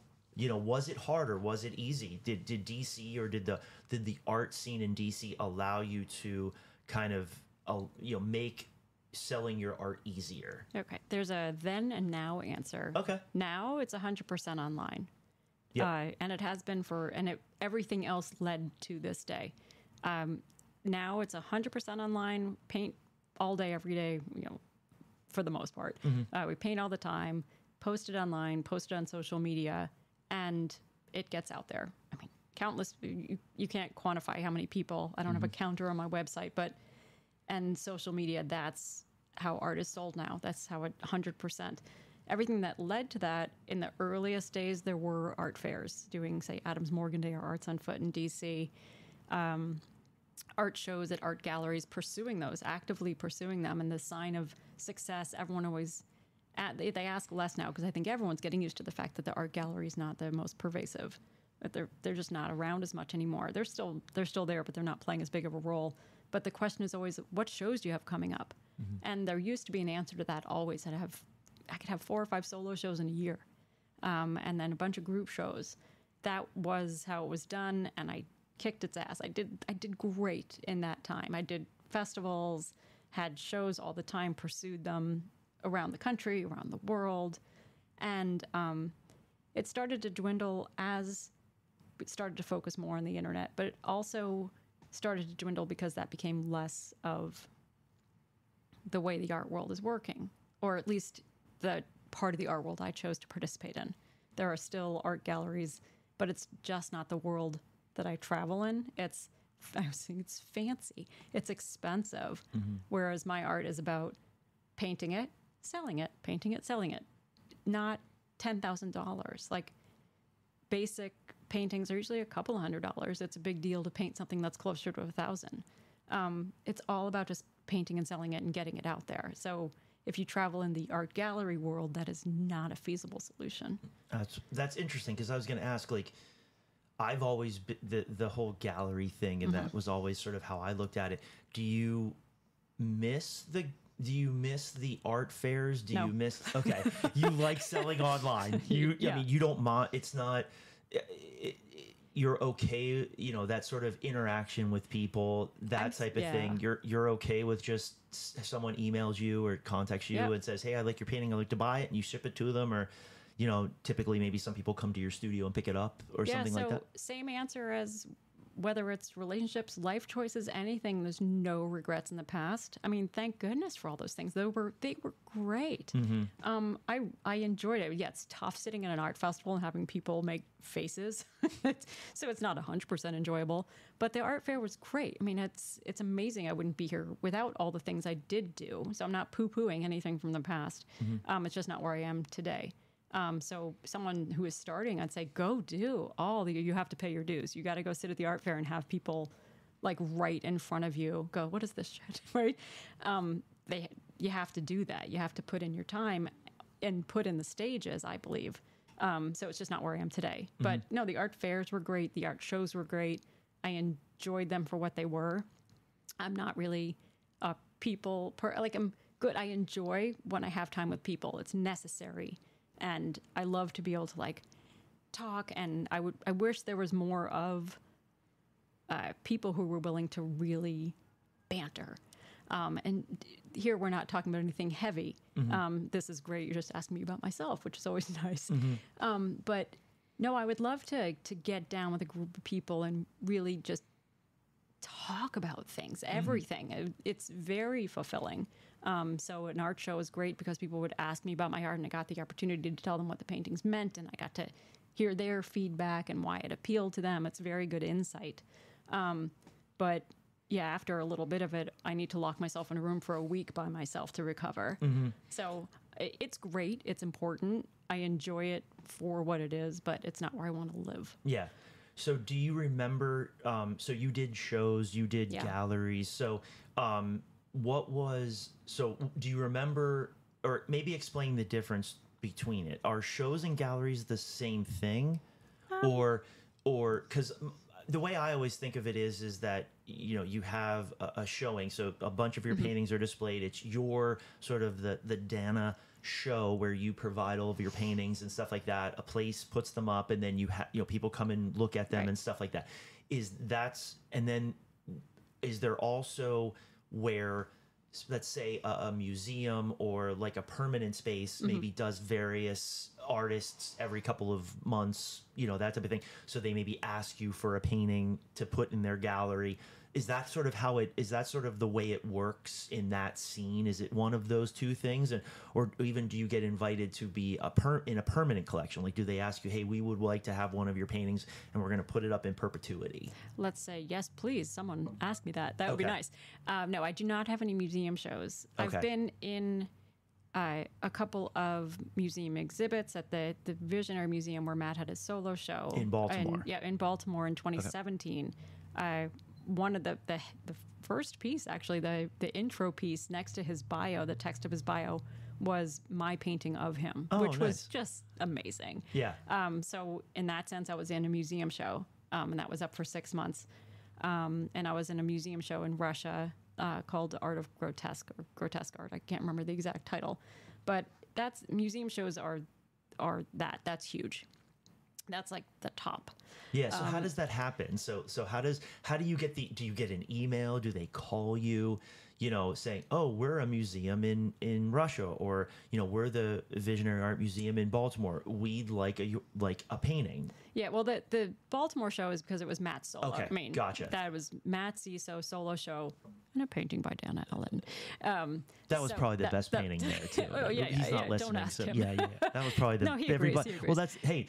You're there. You're the first. You were the first painting they see when they walk into his. So again, they Yeah, have the so favorites, favorite and most painful scene if you've seen the movie Pollock, Mm-hmm. um, where Lee Krasner, you know, married to Pollock and Pollock's drunk off his butt like always, and uh, Peggy Guggenheim comes and Lee brings the brings her up to what was their shared studio, and Peggy Guggenheim goes, "L. Krasner, I didn't come here to see L. Krasner. Who the hell's L. Krasner?" And that's like, welcome to my world. um, so many stories there. So no, okay. So there's museum shows, which I've been fortunate enough to be in those too. Mm-hmm. Then there are gallery shows, and those are just art galleries. You know, like storefront art galleries, and that's what I did many, many, many of over the years. Mm-hmm. Gotcha. And so how is- does yeah. So how does the so we'll kind of I want to get the I want to get kind of how it works for both. So in a museum show like the one in Russia, Mm-hmm. how does do you get an email from like a Russian email address and like then they'd say oh, we would like a painting of yours or so how does it work like It's yeah, it's a, the they said what, and that one too. It's um, they first invited Matt to do it. His name's out there. He's he's the museum guy. Um, so they invited him to be part of the show, and then he was kind enough to introduce them to my work. Or I don't know. If, oftentimes they people have asked, not for museum shows, but it's in the art world. You often get asked like, "Do you know anyone else who might fit this, or who would be good on the show?" So he introduced them to my work, and I had two pieces that were like the most extraordinary, perfect fit for this call, and um, I'm sure there's been times in life where I've gotten things because of like someone thinks they have to do something for me because he's in it. And I, God, if anyone's listening, never do that. Never mm-hmm. just give me or anyone something because you think you have to or because they are mm-hmm. just married to or whatever. Um, so they they curated him in though. They curated into my pieces. So it's yeah, he he got an email and I and he was pursued and then I was fortunate enough to be introduced and they they chose to curate mine in as well. did you get to pick the paintings that you wanted to No, give there were two. Okay. Since it was the art of the grotesque, I was like, oh, do I have grotesque for you? I I have some very grotesque paintings. And did you give them a couple of them to Yeah, they choose were- they got to choose Yeah. though you don't get to pick for them you you don't say to them here's the ones that i want to give you well, yeah, because not I don't think all of my paintings are grotesque. So we gave them.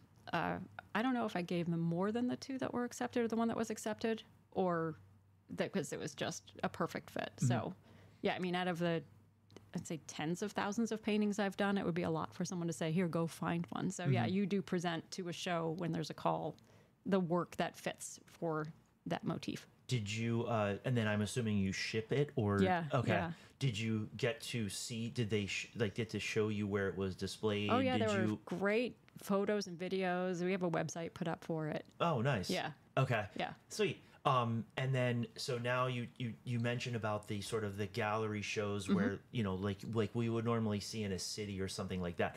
How does that how does that work? Like, does someone come to you say, Donna, we would like to f- uh, feature your paintings in our gallery?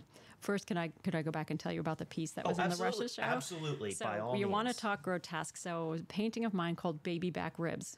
Um, so I do paint on the subject of animal rights and vegetarian veganism often. Of course. And but when I started on that subject years ago, I, as I tend to be, just like really heavy-handed on a subject, just like I have so much to say. I'm like, "Grr," you just throw it all out there. And then I learned to soften things, which is good. So this is from my early days on the subject matter, which means it's my most brutal um, illustration of it. So, baby back ribs. It is a child, baby, sitting on a platter with his back to you, and his back is peeled open so you can see his ribs, baby back ribs.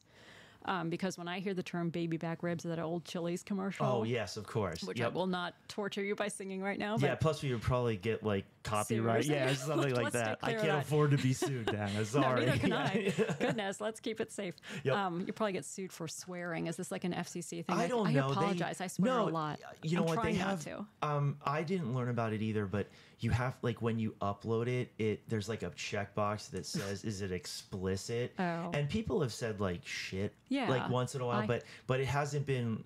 I, I don't think any no f bombs have been dropped. I don't think I have. No, you haven't. Okay. No, no, no. And that's the thing too. I think I Shocking. don't know if I have to check the box if Okay, I'll try not because you know how it's like with like PG thirteen or Yeah. whatever, you're allowed to say like one f word. I don't know how that Oh, works. really? You're something allowed like that. one? I Okay. think there's like something with I movies where? No. no, well, I, please. I, you know what? If I if I had somebody previously that did it and I could figure out what would happen, Right. You No, know, I won't but I would it. hate to check not check the box and, And then then, no someone says yeah, that someone says the f word and then they're like, by the way, you need to do. I would have. I just would be. I, Okay.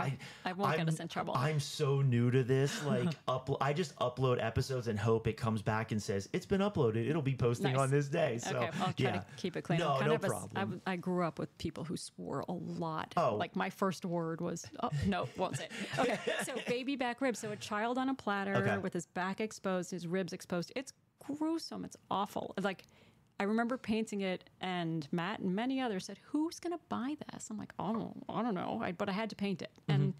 And how many times those words have been spoken in the studio from him to me, going, "Who's gonna buy that?" I'm like, "I don't know, but I need to paint it." Mm-hmm. So, and sometimes you paint something really terribly grotesque, and it winds up in a museum. Yeah. Did somebody eventually buy it? Oh, yeah. Nice. Yeah. In Russia, or did someone? no, oh, here. okay. And I actually came and picked it up um, in person. Oh, so it was nice. a DC person. Was it not to not to you know uh, call them out, but was it some? Did you the when they came in? Did did they look like someone that would Do like? I look like someone who would paint that? Well, no, no, well, I, I don't. know. you don't. But I mean, but again, it's like the. But that's kind of the cool part about it Yeah. is that it's your enigma wrapped up in a mystery, Yeah. like that type of thing. Like, who would have thought? You know, the the- Little old Dana, Yeah, little yeah. old Dana does a baby back rib painting. But like, when somebody were you shocked of the that the per who when you met the person that they bought it? Were you un? Did you not expect that type of person to buy that Yeah, painting? I, I wouldn't say she was a type. I mean, she's just another, mm-hmm. you know, just another woman. Yeah. Yeah, a nice woman. She was very friendly. Although it was hard to get to her as much. It was at the height of COVID that she bought it. Oh, yeah. So it was all like, oh, I'll meet you outside and with masks and I can't Yeah. understand you. What did Yeah. you say? close to drug. It's almo- on on the same space as probably drug dealing. Yeah, it was Yeah, no, like just yeah, like just that trying to- covert. Yep. And yeah. you have the stupid masks on your face. Like, I don't know what you're saying. I think Yep. you're smiling. Are you happy right yeah. now? Do you like my page? Yeah. Yeah. Gotcha. So, Um, there's a rabbit hole you want to go down. But, uh, um, we'll yeah that we can do that off Okay. off off recording. But um, so the gallery show. Yeah. So so how do those? So you know how do those work? Do you get again? Hopefully not through Matt, but you do. Do they come to you directly? How does Mm-hmm. I, that process? those I can say those were on my own. Nice. Yeah, the, the museums. so how do they yeah. work? The gallery, so sometimes it's local, you hear about it, call for entries back in the day, listservs and um, postings. Where did we even, I don't remember. There used to be listservs and places you could go and see calls for entries or seek them out, or the back of was like Art News magazine or something. Um, you could go that way, or sometimes you just hear about it, or someone knows you're a painter and they like, hey, did you hear about this? So a lot of word of mouth, but there was also official places to look. Um, and then you applied online, you sent or sent in slides in the early days. Those were the days, right? That was so much more difficult. Um, and then it thankfully got more digital, and you could send JPEGs. That was a lot easier. Um, yes, it was very much see, having your ear to the ground and looking for shows, or even contacting if you, I- we'd travel places and you'd see a gallery and maybe cold call them, just say, hey, you know, I'd like to have a show with you and show them your work. And then the more you do, the more you get. So the more you're out there, the more you hear, the more people know you, the more they'll come back to you and tell you about opportunities. It's very, very progressive, very or symbiotic. Like one thing leads to another, as with many things. Mm-hmm. Now, were they your? So were they just all of your paintings, or did you do both? Where maybe you and a couple of artists were Oh, featured? yeah, both. Yeah. Okay. So my first solo show. Yeah, so here let's in get into DC, that. Yeah, I- okay. So I was newly full time, and I was like, all right, let's do this, and approached a gallery I saw in Eastern Market in DC on Capitol Hill, and I think she she had a call. Yeah, she had a call for art, and I remember went going in and talking to her, and she had planned on having it be a group show, and me and all of my confidence and go get it. Like, let's do this. I said, you know, don't have a group show. Just do it all me. I'll, it won't it be so much easier for you if you just had a solo show? You don't have to deal with all these other people. Just give me the whole show. And she said, okay. And so my so- first solo show was supposed to be part of a group show, but I said, just give it to me. How was that Give feeling? It was awesome. And like that just gave me, that was a great start. Like, all right, I can do this. Mm-hmm. And I did. Was it? So, do you work with the that you said it was a woman that Yeah, that yeah. had? Okay, did you work with her on sort of what paintings you wanted to have, or did you get to decide? Okay, um, these are what I'm going to give you. This is you know how do you you know because usually there's sort of a process where you put certain paintings certain places. Mm-hmm. Right. so explain that whole entire process because that this is the this is where we're getting into the fun stuff for me because this is where the stuff that i've always How it works? wanted Okay. yes. So so how does it work? Like is it hard? Is it difficult? Is it easy? Are you fighting with the stu- the the place that's putting it on you know do you argue about how long you want to do it like how does it work so explain it Give That's a yes show and no on it's- every single one of those questions. Okay. It just depends on the show. So Okay. this one was a space. I measured it. I created 100% of the work for the show I created for the show. Okay. So I measured the space and me, again, back to like organized, uh, belt and suspender sort of girl. You measure measure twice, you cut once, right? Yep. Um, so you measure the space, and I planned very carefully how many paintings I needed, how big they would be, and created that much work specifically for that space. oh so you did not ha- you you I did didn't have anything. I mean, I was not even. I was like, and I have how much time to get this done? All right, I can do that. So, I I had a I landed a show. I had no paintings, and I created them for the show. Nice. Did you like? Was it? Did the person that was putting on the show? Did you ever have sort of a? Did they say, "Well, I don't like that. I don't think this one should be in it"? You Were know, they had sort she of? said that, it wouldn't have landed well with me. Got it. You know, I, and that's where every gallery is different. Mm-hmm. But um, and why it's infuriating. It's like, no, I I created this. Are you? And where it comes, not freedom of speech, but you know, freedom of paint. Uh, if you're going to give someone a show, and then say, I mean, if they're a curator, it's a it's such a can of worms of an answer. If they're curating the show, then they're curating it. Then they have a say, right? Um, this was not that type of show. okay. I don't remember any any strife, any like, oh, I don't like this one or don't hang this one. I had free reign. It was a it was a great show in that sense. It didn't end as well. Like there's always like, oh, this is so perfect. But when it came time to take down the show, it was a little hairy. It was a little like she wasn't there. Anyway, there's no reason to get into that. It was a 99% positive thing, Yeah. if not 100%, and that happened to have a hiccup. So no complaints there. Um, but then other shows that are group shows, it's sometimes you present them the one painting or two paintings if it's in a group show that you want to submit and they say yes or no um, and with so much since i have so much work it would be impossible for me to tell i usually ask like is there something you particularly like or tell me your five favorites or something like that since my art's all over the place on style if they like cubism they're not going to be happy if i give them a you know full on realistic piece and so on um, so yeah, every show is different. But the first one was I had a space, I filled it, and you know, I, I wrote all the rules. Nice. Is the intent Just the way I like it. exactly um and it should be it's your art like you should have the right to make that decision i mean now again like you said with the curated ones Mm-hmm. you kind of have that but was the in, is your intention to do these to sell the art or is your intention just to sort of show Uh, your art It is to sell the art. Okay. A gallery show, and that's their intention. They're really they're in it for the money. Gallery owners own galleries because they love art. You hope, right? But it's their business. Mm-hmm. If if you don't sell anything, none of us make any money, and they're paying the rent. Mm-hmm. I'm paying my rent. That's all. All is fair. Um, but galleries often typically take fifty percent. It's it's a huge hit, Mm-hmm. and maybe that's why some artists do charge some more money.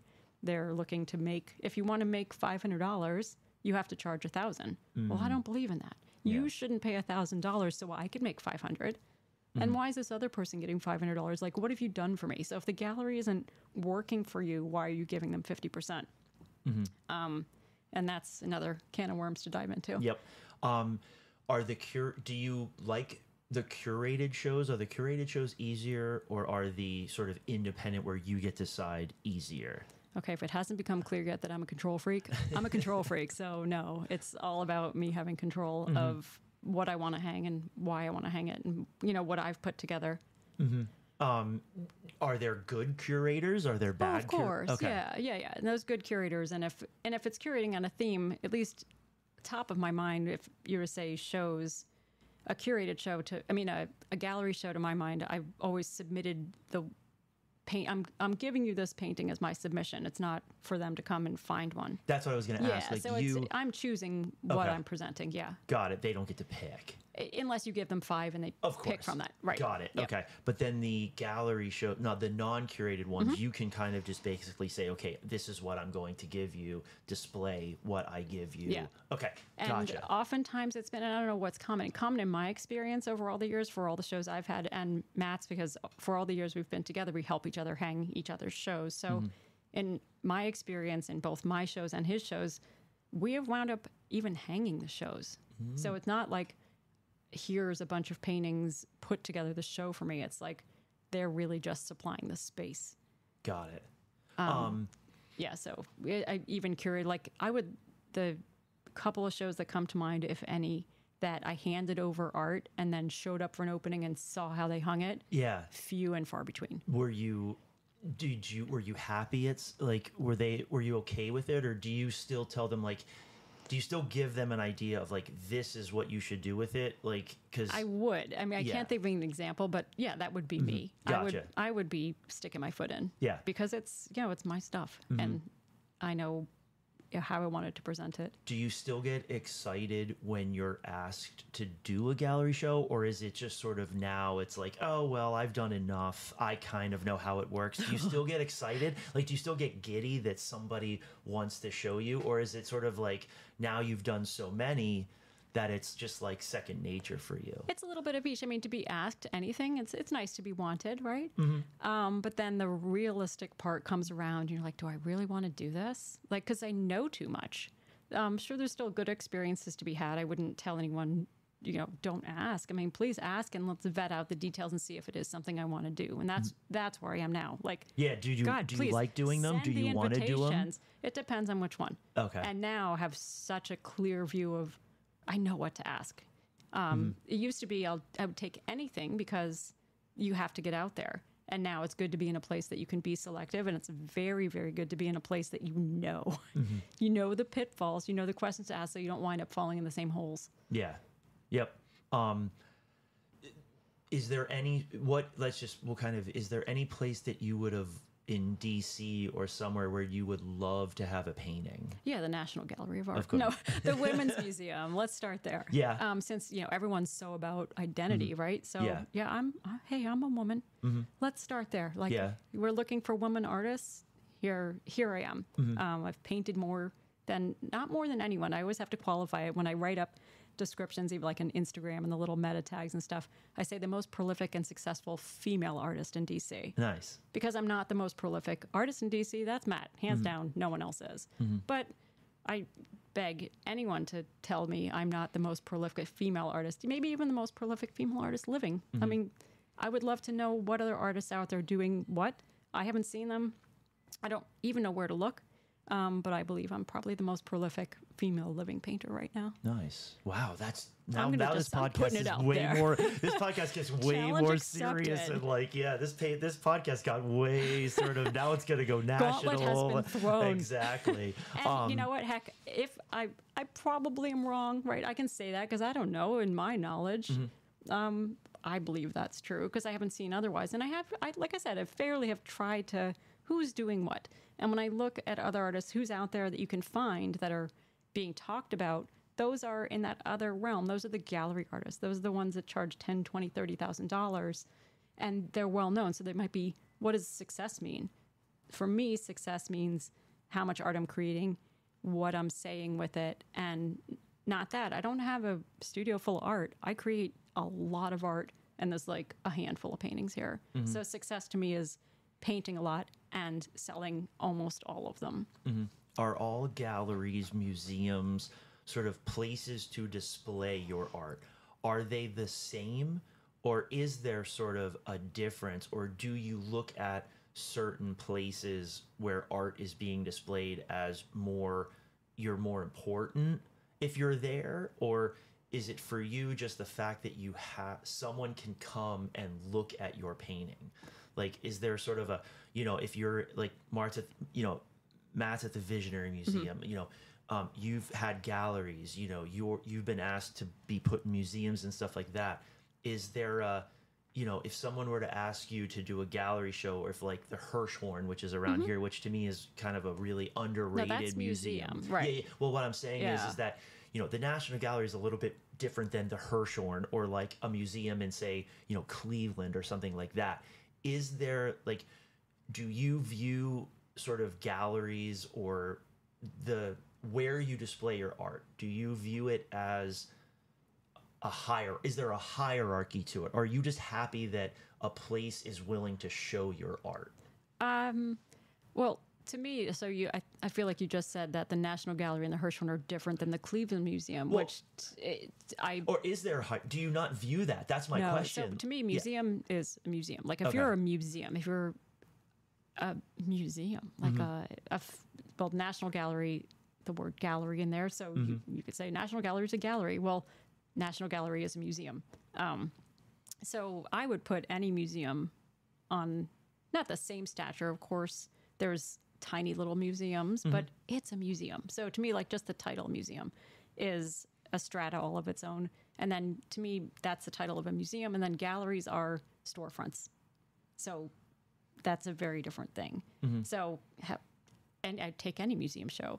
I wouldn't argue with any museum show, but would I take any gallery show? No. okay No, no, no, no. Those are a thousand gradients of answer. gotcha okay that what, was my what yeah is a gallery?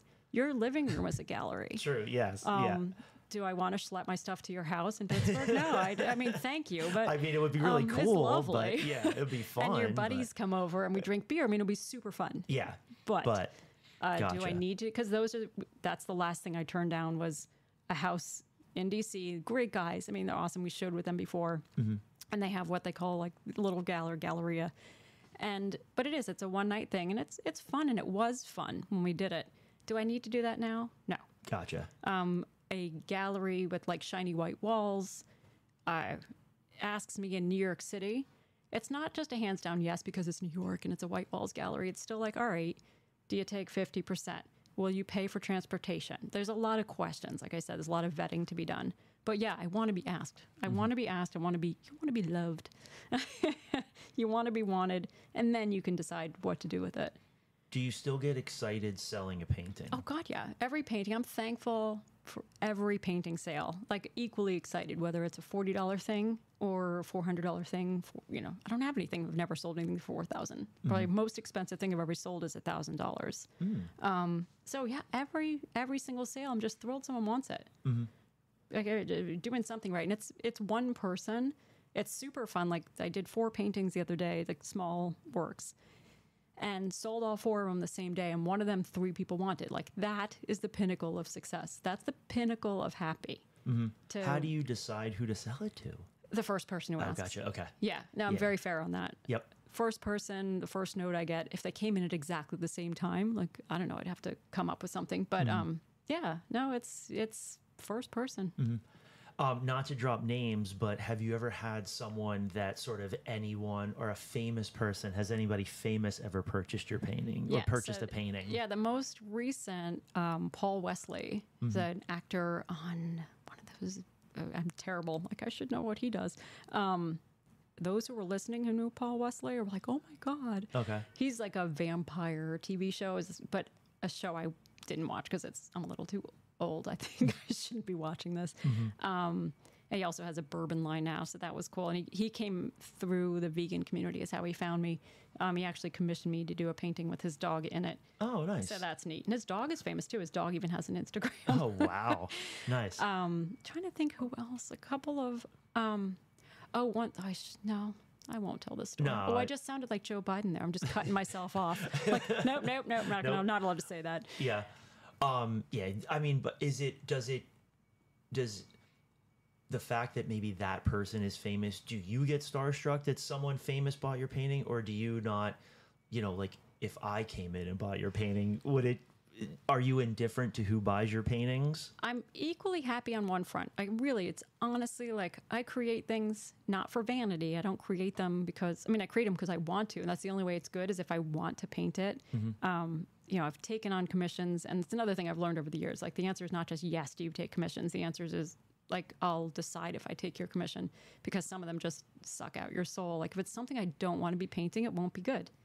Um, so every painting I make, I make because I want it to be good enough that it speaks to someone in some way. So every sale is equally happy. If it's a star, like that's kind of neat. Yeah, it does make it a little better. I mean, they're not better people or bigger, whatever. It's still just as happy of a sale, but it could lead to something. So as a businesswoman, it's a little better because you never know what might come of it. Have Who you ever, might see it, right? yeah. Have you ever refused to sell a painting to someone? Hmm. Let's think. Not off the top of my head. Mm. I may have, let's say, I did just say the first person that wanted to buy something is the one that gets it. But um, if I ever had to make a judgment call Mm-hmm. on which person to sell it to, Well, not just that, but like maybe that they, you felt they didn't, appre- they wouldn't appreciate as much, or you maybe didn't want to sell it, or, you know, you're like, well, I don't, I, I'm getting bad vibes from this person. Like, I'm not sure if I want, like, because don't, I can't think of a time that that's come up, but the conversations come up because when I've done these vegan veg paintings of animals, it's we've joked around over the years, like you know, what would happen if you know McDonald's comes to you and says, "I want to," or someone buys it and want, uh, people aren't allowed to use them in a campaign. I mean, I hold Yeah. the copyright, so that Yep. can't happen. Although it does happen, and then you can sue them. Um, but yeah, that it does become the scruples question. Is the only time I could think I would face that. Not a do I like this person or because I have, and I can say this safely because people don't know who they are that I'm about to talk about.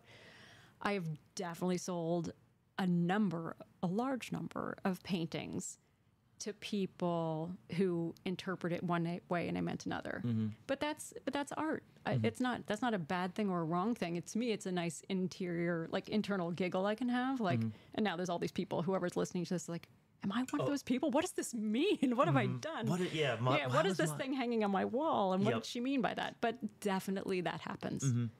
Um, so kind of going into your process, um, when you, how do you start a painting? How, how does it start? So, so do you, do you have an idea of what you're going to paint or do you just basically put the can, the canvas or the medium that you're going to paint on and you say, okay, whatever, do you stand there and stare at it for 20 minutes or do you have an idea of what you're painting?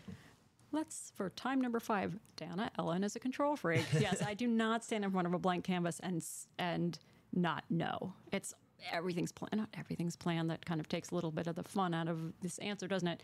I'm a planner. I plan. I might take two days to come up with a painting before I even put pencil to sketch pad. Forget about pencil to canvas. Uh, there's a lot of thought. Not for every bird, and uh, I do a lot of fun paintings just about drinking and whatnot. That's those are fun, but they still have plans. I still have to come up with what they look like and what kind of style I might. Well, the style I don't plan. That happens That's your style. that that happens like which style is going to come out whether it's tighter or looser um but no, there's always planning. And it might be a book I'm reading, it might be me purposely researching something or having a nugget of an idea, saying I heard. Um, I was I loved the Good Place TV show. I, I watch shows and movies and stuff while I paint. So I went watched through The Good Place, and during that show, wrote a lot of little notes, and it got me into reading about existentialism. So you just don't know what thread is going to get pulled and where it's going to go. So mm-hmm. I'm sitting here as we're talking. I have a painting of John Paul Sartre like staring at me the whole time with his big googly eyes. Like that came out of The Good Place of all things, like a silly was NBC TV show, mm-hmm. which led me to learning about existentialism, which led me to doing that painting. Oh, So you nice. they come from everywhere, but Yeah. there's always a reason. Do you ever? Does it ever get to a point where you get to a point where you're like, okay, I don't know where to go next, or do you do you or basically do you finish all of your paintings? Uh, eventually, I Uh, I what- used to okay. be hundred percent linear. Um, up until the past couple of few years, the answer was, yeah, they have a beginning, middle, and end, and that's how I worked. I came up with an idea. Step one, maybe sketched first, but it's usually not on paper. Usually right onto the canvas, and then I sat and I painted it until it was done, and it was done because it was very clear it was done, and it got posted and it sold, and end of story. But the past few years, I'm very pleased with my process having changed and altered. Like I finally feel that time, and even even though I've been full time for so long, I'm in a new place now. In the past few years, that I really have the time. Like I'm just relaxed into it. So now I have a bunch of stuff underway, and even stuff I thought was finished. If it didn't sell, perhaps that means it's not finished. So uh, some stuff cycles in and out of my studio until it hits that sweet spot and until it sells. Some stuff I won't paint over because I'm like, no, this is important, or this I I com- I'm committed. I know this is good. It just hasn't found its person.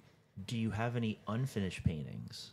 Right now, yeah, a couple. Okay, but yeah, a couple are from, like- officially unfinished, and then there's a bunch that are still like on on tap that might get re-hit. Okay, so Yeah. you do have ones that you just you like what is that feeling or do you know do you know when you kind of can't go any farther? Like again, you have a like you said you have some paint or how you know what's your oldest painting that's unfinished? Oh, in that sense, there, I don't really have too many things like that. Like, Okay.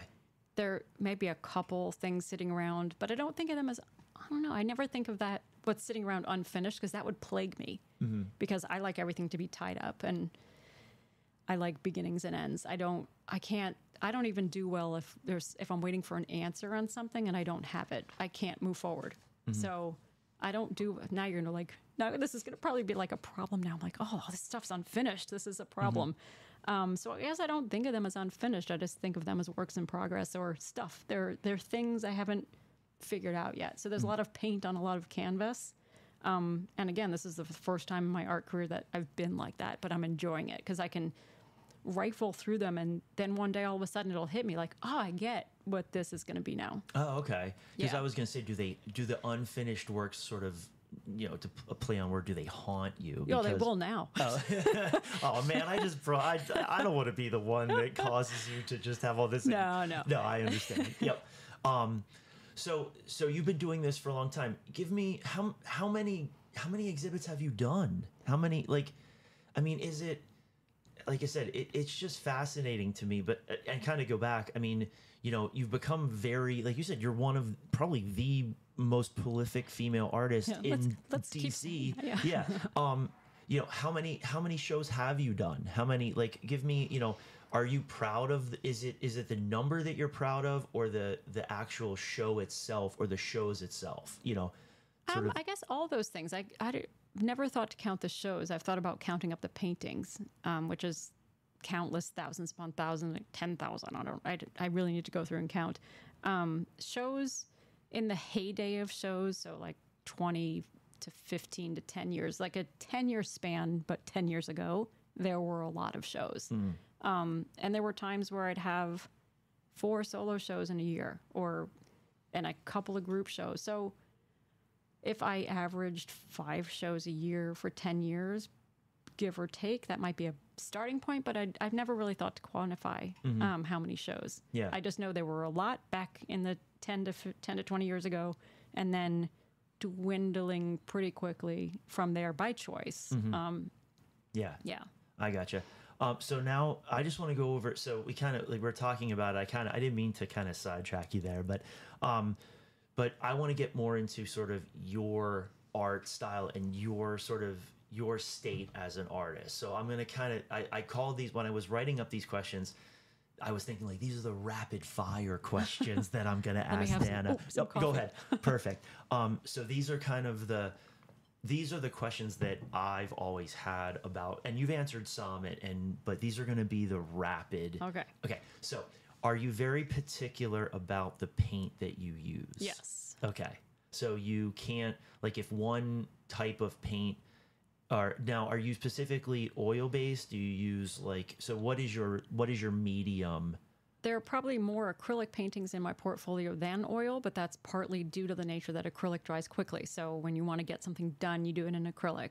And Okay. oil has traditionally been where I turn to when I want to do more realistic, like fine classical style. But thankfully, as with all things, I've loosened that up over the years. Now I quote unquote know how to paint loosely with oil. Okay. Um, so, what would you say your your do you do more acrylic or Yeah, yeah. There's definitely more acrylic paintings out there, but I've done now over the past few years that that balance has has swayed a bit, and it's tilting more toward oil Okay. more often.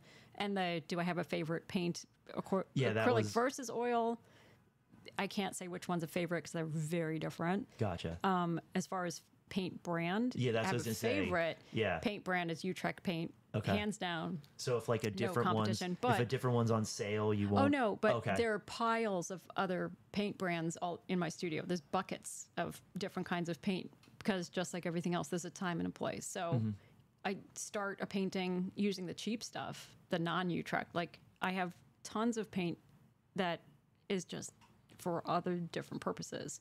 Um, they give you different paintings when you use different paints. So to use one type of paint, you come out not with one type of painting, but a consistency. Which maybe that's where my lack is. my lack of consistency is too many supplies. Um, so yeah, there's there's the best paint, but it's by far not the only paint because you need all of them. Gotcha. Yeah. Are you particular about what you paint on?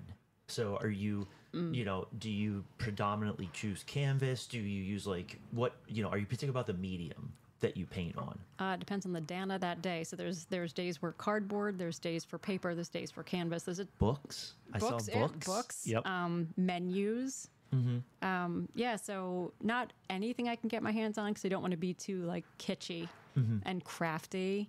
Um, but yeah, books are probably the craftiest like kind of kitsch that I do. But other than that, it's it's ninety percent canvas and um, or ninety, yeah, eighty percent canvas and then paper, paper cardboard. gotcha. Yep.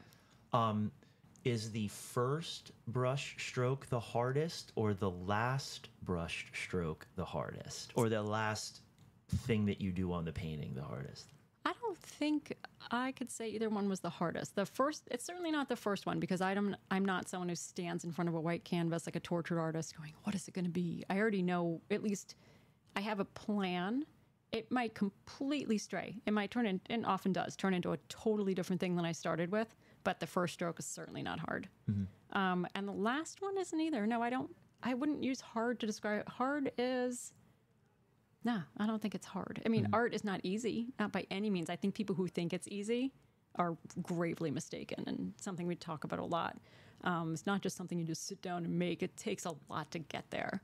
So it's it's hard in that sense. It's a trial, but I wouldn't say the first or last stroke is hard by any Yeah. means. Do you do you know when you're done, or could you literally take a painting and just keep sort of doing things to it? Like, how do you know when to say, "Okay, Dana, I'm done"? Like, stop. It stop. depends. Yeah, the realistic ones are done when they're done. They're done when I put the last dot, um, you know, in the polka dot shirt the woman's wearing. Then it's done. And then too many times I have thought it was done, posted it, and until I see it on my screen do I realize I forgot like a hand or mm-hmm. something. But no, the realistic ones are linear. They have a they have an end. I'm done when I have finished all like making everything look quote unquote right that's easy. Those are done when they're done.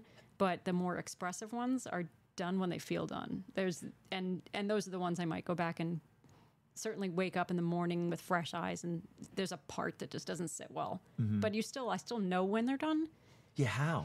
That's the yeah. That's the eternal question. Yes, yeah, especially for that's and that's and and not to kind of, but it to me that's the biggest question for Pollock. Yeah. Like Yeah, that was- that did- was in the movie, yeah, too. that's what I mean. How do I how do you know when you're done? Yeah, and he had some wise ass answer to that, I'm sure. Yeah. Um, What's Dana's wise ass answer my- to it? Mine is oh. The realistic ones are done when they're they're very clearly done when they're done because I have finished executing them.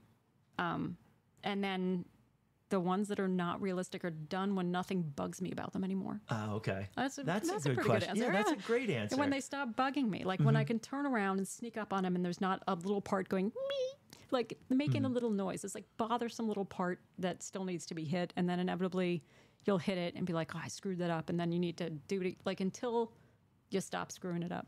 Mm-hmm. Have you ever wanted to change your style or or did you say I'm going to change my style but did it ever come to it where maybe you hesitated because you were afraid that maybe the people that like your artwork might not like let's say all of a sudden you started drawing like people you know uh, eating hamburgers and having fun and, and sort of but just because you Yeah. now you say you're you've gone sort of that like the baby back ribs instead of the baby back ribs maybe like the you know the person eating the the the ba- being I've done that too, though. yeah, Yeah. but but um so have you ever decided or have you ever thought i want to change my style or i'm i, I want to kind of change. I, i'm kind of i like what i'm doing but i want to try something different. But and did you do it? Or did you sort of based on the fact that people expect Hmm. sort of your style? This is the other question that i have like is it hard to change because you know that you pe- you might not sell Right. the paintings if you change Well, I have changed, and like I've said, there's so many different styles that live within me that I think I've kept people guessing enough that it's almost the opposite for me. I feel I've uh, this cubism that I I started doing just earlier this year came out of literally nowhere. So yeah, I consciously am always trying to loosen up. It's always been my goal for all these years of painting full time, and that is manifested in different ways.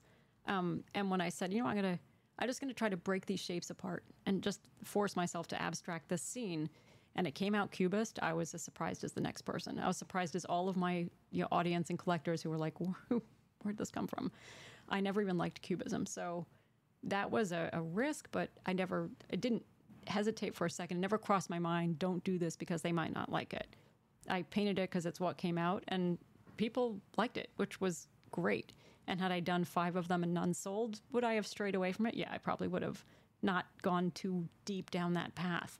But it was accepted well, and people are enjoying them, and I'll continue experimenting with it yeah as a style. It's more subject matter that I don't do mm. because I'm afraid of not afraid, hate that word.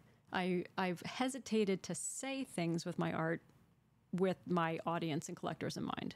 And that's hugely frustrating. i bet Hugely frustrating.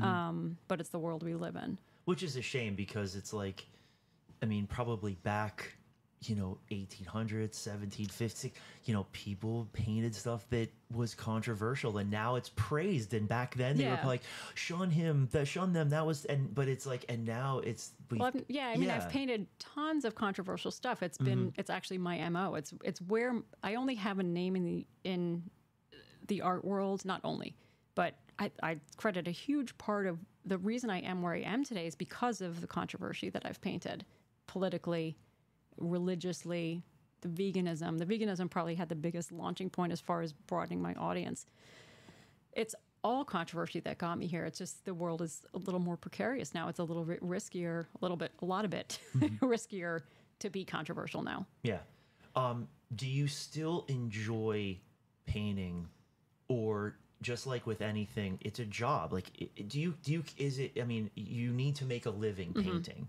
so do you still get excited for every painting or is it do you feel at a certain point you have to paint uh, you're forcing yourself to paint because you need to sell it in order to like in order to support yourself because Yeah. you're a full-time artist so Yep.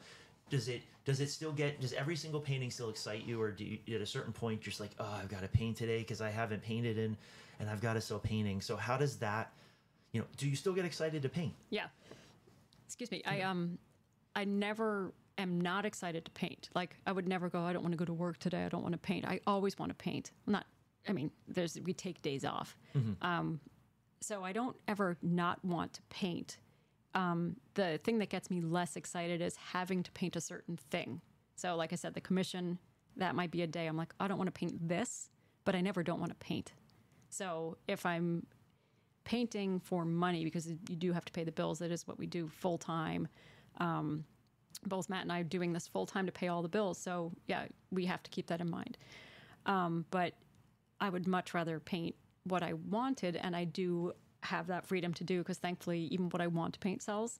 If I got in a matter of like a bill coming due and I needed to make money, I know where I would, I know which direction I would take my paintings in those days or that time to be a little bit more confident that they would sell. I wouldn't take as many risks.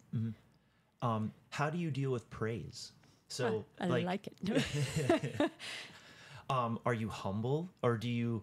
I mean, again, you're you're you know, do you are you are you humble where you're like, oh, it's just you know, how do you like? Do you do you welcome it? Is it a surprise when people praise you? Like, how does that? it never just like your question about selling a painting every painting is just as makes me just as happy to sell i don't think that ever i hope that never wears off that would be sad like i take that much pleasure and every time someone sincerely says something like wow even a wow on facebook. Like it's it could be meaningless. Maybe we'll just be nice sometimes. But anyone who writes and says anything specifically to that painting or or really engages with it every single one of those conversations is important to me. And i i engage back. Like if someone has connected i ask them why. Um, what you know what is it about what speaks to you on this piece? Or especially every person who buys a painting and it's a painting that deserves engaging over. It's not a bird or a woman drinking. Like i said my sort of go-to stuff that obviously you like it because drinking's fun. I mean that's why you're buying this. Hmm. But if it's about something historical or about an author or about a, a political event or any, anything of, of note they they usually are the first to tell me. I, I won't just ask someone because it is none of my business. Um, but if they are looking to engage, I love it. I'd love to engage and have a conversation over why you're buying it and how it speaks to you. And I've developed. I, there's people who buy my work that I in my head I'm like, oh, that's my friend so and so. I'm like, I've never met them, but we've gotten to know each other No, nice. um, through conversations about my paintings. That's great. Now, on the opposite side, Mm-hmm. how do you deal with criticism? I'm used to that too. So, um, to the point of hate mail and death threats over the years. And it's people are bananas. Um, and criticism. So, in the art festival days, you have to be able to deal with it. So, someone walking by and rolling their eyes or saying to their spouse, like, ugh, you know, you actually see them like disgusted. You're like, wow, all right, whatever. So, I'm pretty good at laughing that off. you you have oh go, go ahead. Um, Yeah.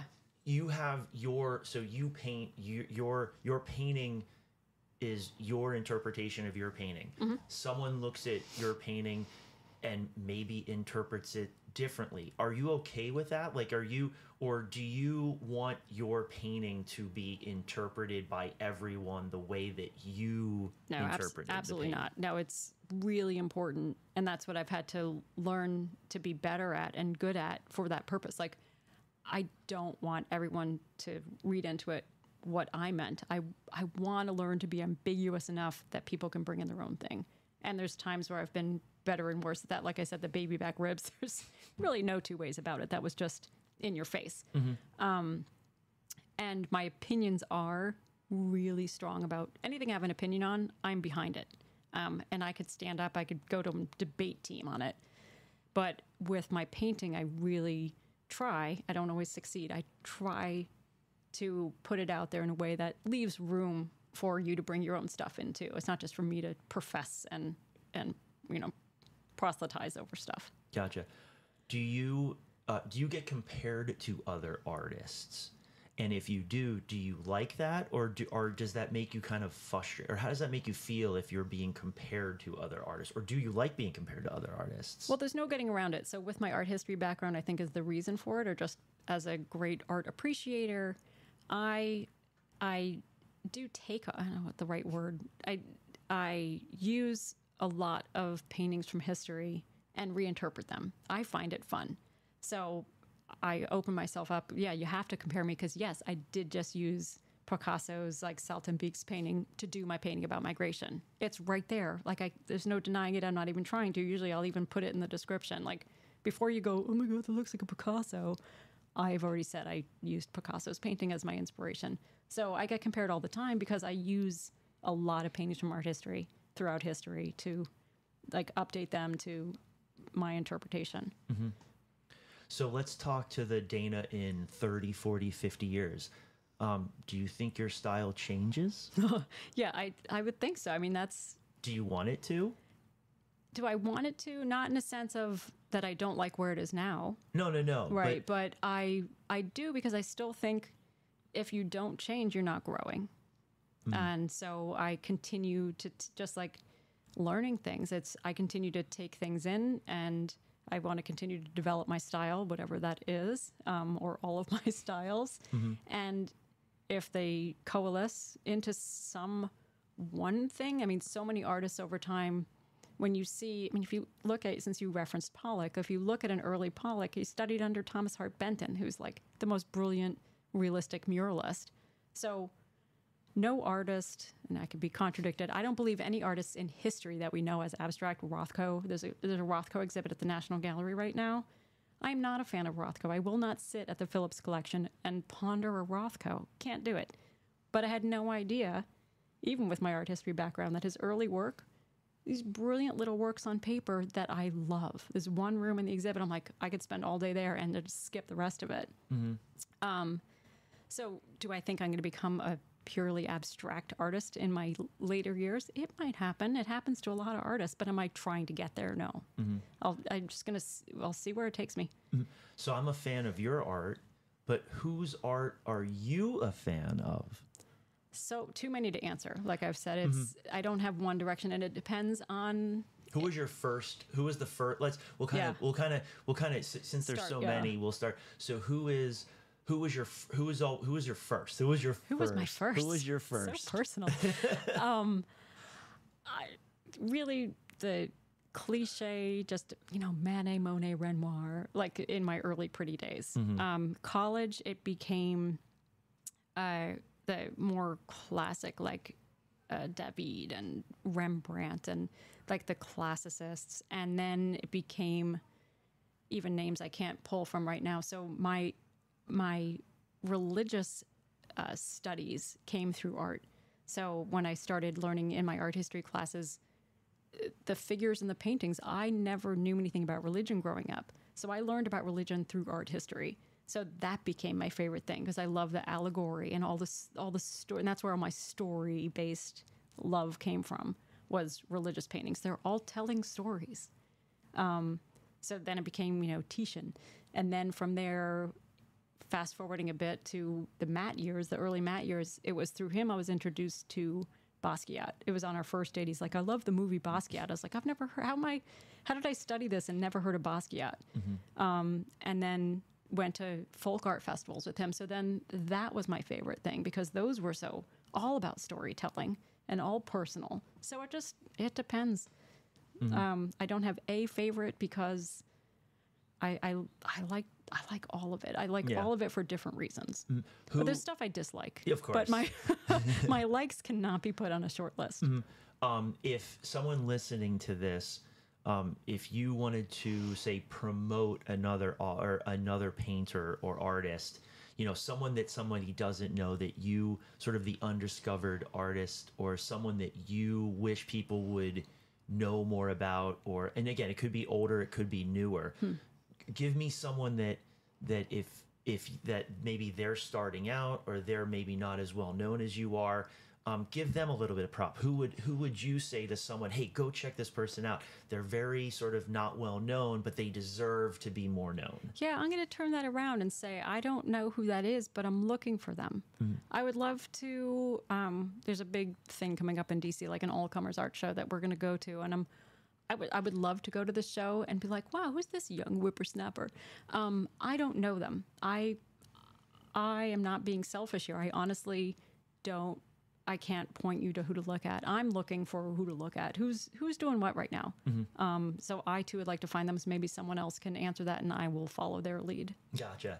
So I'm gonna have these are kind of the two that I want. I want kind of the last two that we'll get to. So the first question I have is, um, so what is art to you? See, it's all wound up, and now you're going to bring me down to being philosophical. What is art to me? Art is life. Um, art is what I do. Art is what makes me happy. Um, art is what I know. I don't I don't have a, a giant answer for that. It is it's it's not all I know because I do like I've said I have so many interests and reading and learning about things, but it, it's me. It's who I am. When I read, I read a ton of art artist biographies, and um, you know I'm not looking for myself in them, but I, was saying recently that the artist biographies I've read recently, I'm happy I'm reading them at this age and not when I was younger because I would almost accuse myself of, oh, you just read that in a book and you're trying to model yourself that way. But reading them in my 50s, going, wow, yeah, that I did that, I did that, I did that. Like it's backup for the path I've been on. Is um, I don't need it validated because I'm happy with it, but at the same time, reading artist biographies and reeling, realizing I, I they echo my feelings on things like women not having children is a big one, um, and the the choices I've made, the way I live. I'm like, I guess I'm an artist. I, you know, I, it's it's great, like just fulfilling. That was going to be my next question. Do you consider yourself sort of the artist term, you know, is is been handed down for centuries. Do you consider yourself an artist? Yeah, I do. But then the question is like, what do you mean by that? Yeah, what do you mean by What do that? you mean what do you that? mean by that? Um, I mean by that, I'm not living this. There are there are books on you know how to be a good parent. There's books on how to be a good lawyer. I'm sure, I would imagine. You know what I mean? Like there's handbooks to stuff, and the choices I've made, the paths I've the path I've taken, and choices I've made, are not stuff you're gonna find in like normal how to do life successfully. Um, but they're choices that have made me happy and have been successful for me. So I just so to end this, I just I just want to say like this has been amazing. Like Oh. I had such a great time because I'll never be able to grasp what it's like to be you and what you do, but I I definitely some of that sort of the questions and sort of the the longing that I've always wanted to know about what you do has been answered. I mean, I don't think I'll ever I'll never be able to get entirely what you do because of just how special it is and how how it takes an, an, a very sort of extraordinary or just sort of someone like you to do it. It takes a completely like I could never do what you do, and and the fact that you've opened up and you've kind of given me a glimpse of what you do is I can't thank you enough. I Oh, mean, well, this has been you. so amazing. for like, someone to want to talk about it is tremendous because who's TV show that used to be on called Wife Swap. I don't know if you ever oh watched yeah, it. I think so. Yeah. I thought that would be the only that would be a huge step for someone to start to understand what we do and how we live. Mm-hmm. Um, until you until you try on the shoes and walk around in them, like I always say, it's just you for someone to want to ask the questions. Huge appreciation for what you're doing here and Mm-hmm. wanting to know about it because hopefully other people will learn. Because there's there's no way someone to just look at the paintings or talk to us or have a drink with us, whatever, and be like, oh, I I know those two or I I know you or why you do your art. It, it there's a lot going on under the surface. So Mm-hmm. thanks for start trying to scratch it. I, I, hey, I, the, the, like I said, you, I'm interviewing Matt. You know, Matt's going to be on either before or after, and, and both of you at the same time. The fact that you have both welcomed me to to sort of ask you these questions and to do it, I can't tell you how much I'm honored to do it because, like I said, this, you know, I've interviewed my friends, and those are people that sort of I've I've become friends with and stuff like that. Where you were, you're the first you and Matt will be the first sort of people that weren't my friends, but that I now, or even though we've only met one or mm-hmm. two times before, that I consider you my friend. So it's like, Yeah. you know, it was nice to be, it, it felt like I was sitting down with my friend. Good. That's so I hope you felt the same way. Absolutely. Yeah. And we really like, there's been so many times of saying, God, someone would just ask us, and, and you're doing it. You're asking us. So Excellent. That's great. much to be said. Yeah. Awesome. So, um, thank you so much, Thank Dan. I appreciate it. And uh, I hope you have an awesome, wonderful, amazing rest of your day. Well, thanks. You too. Perfect. Thanks. Bye. All right, Dana. So if if people wanted to view your art or find your art or purchase your art, purchase your art, where can people go to find you?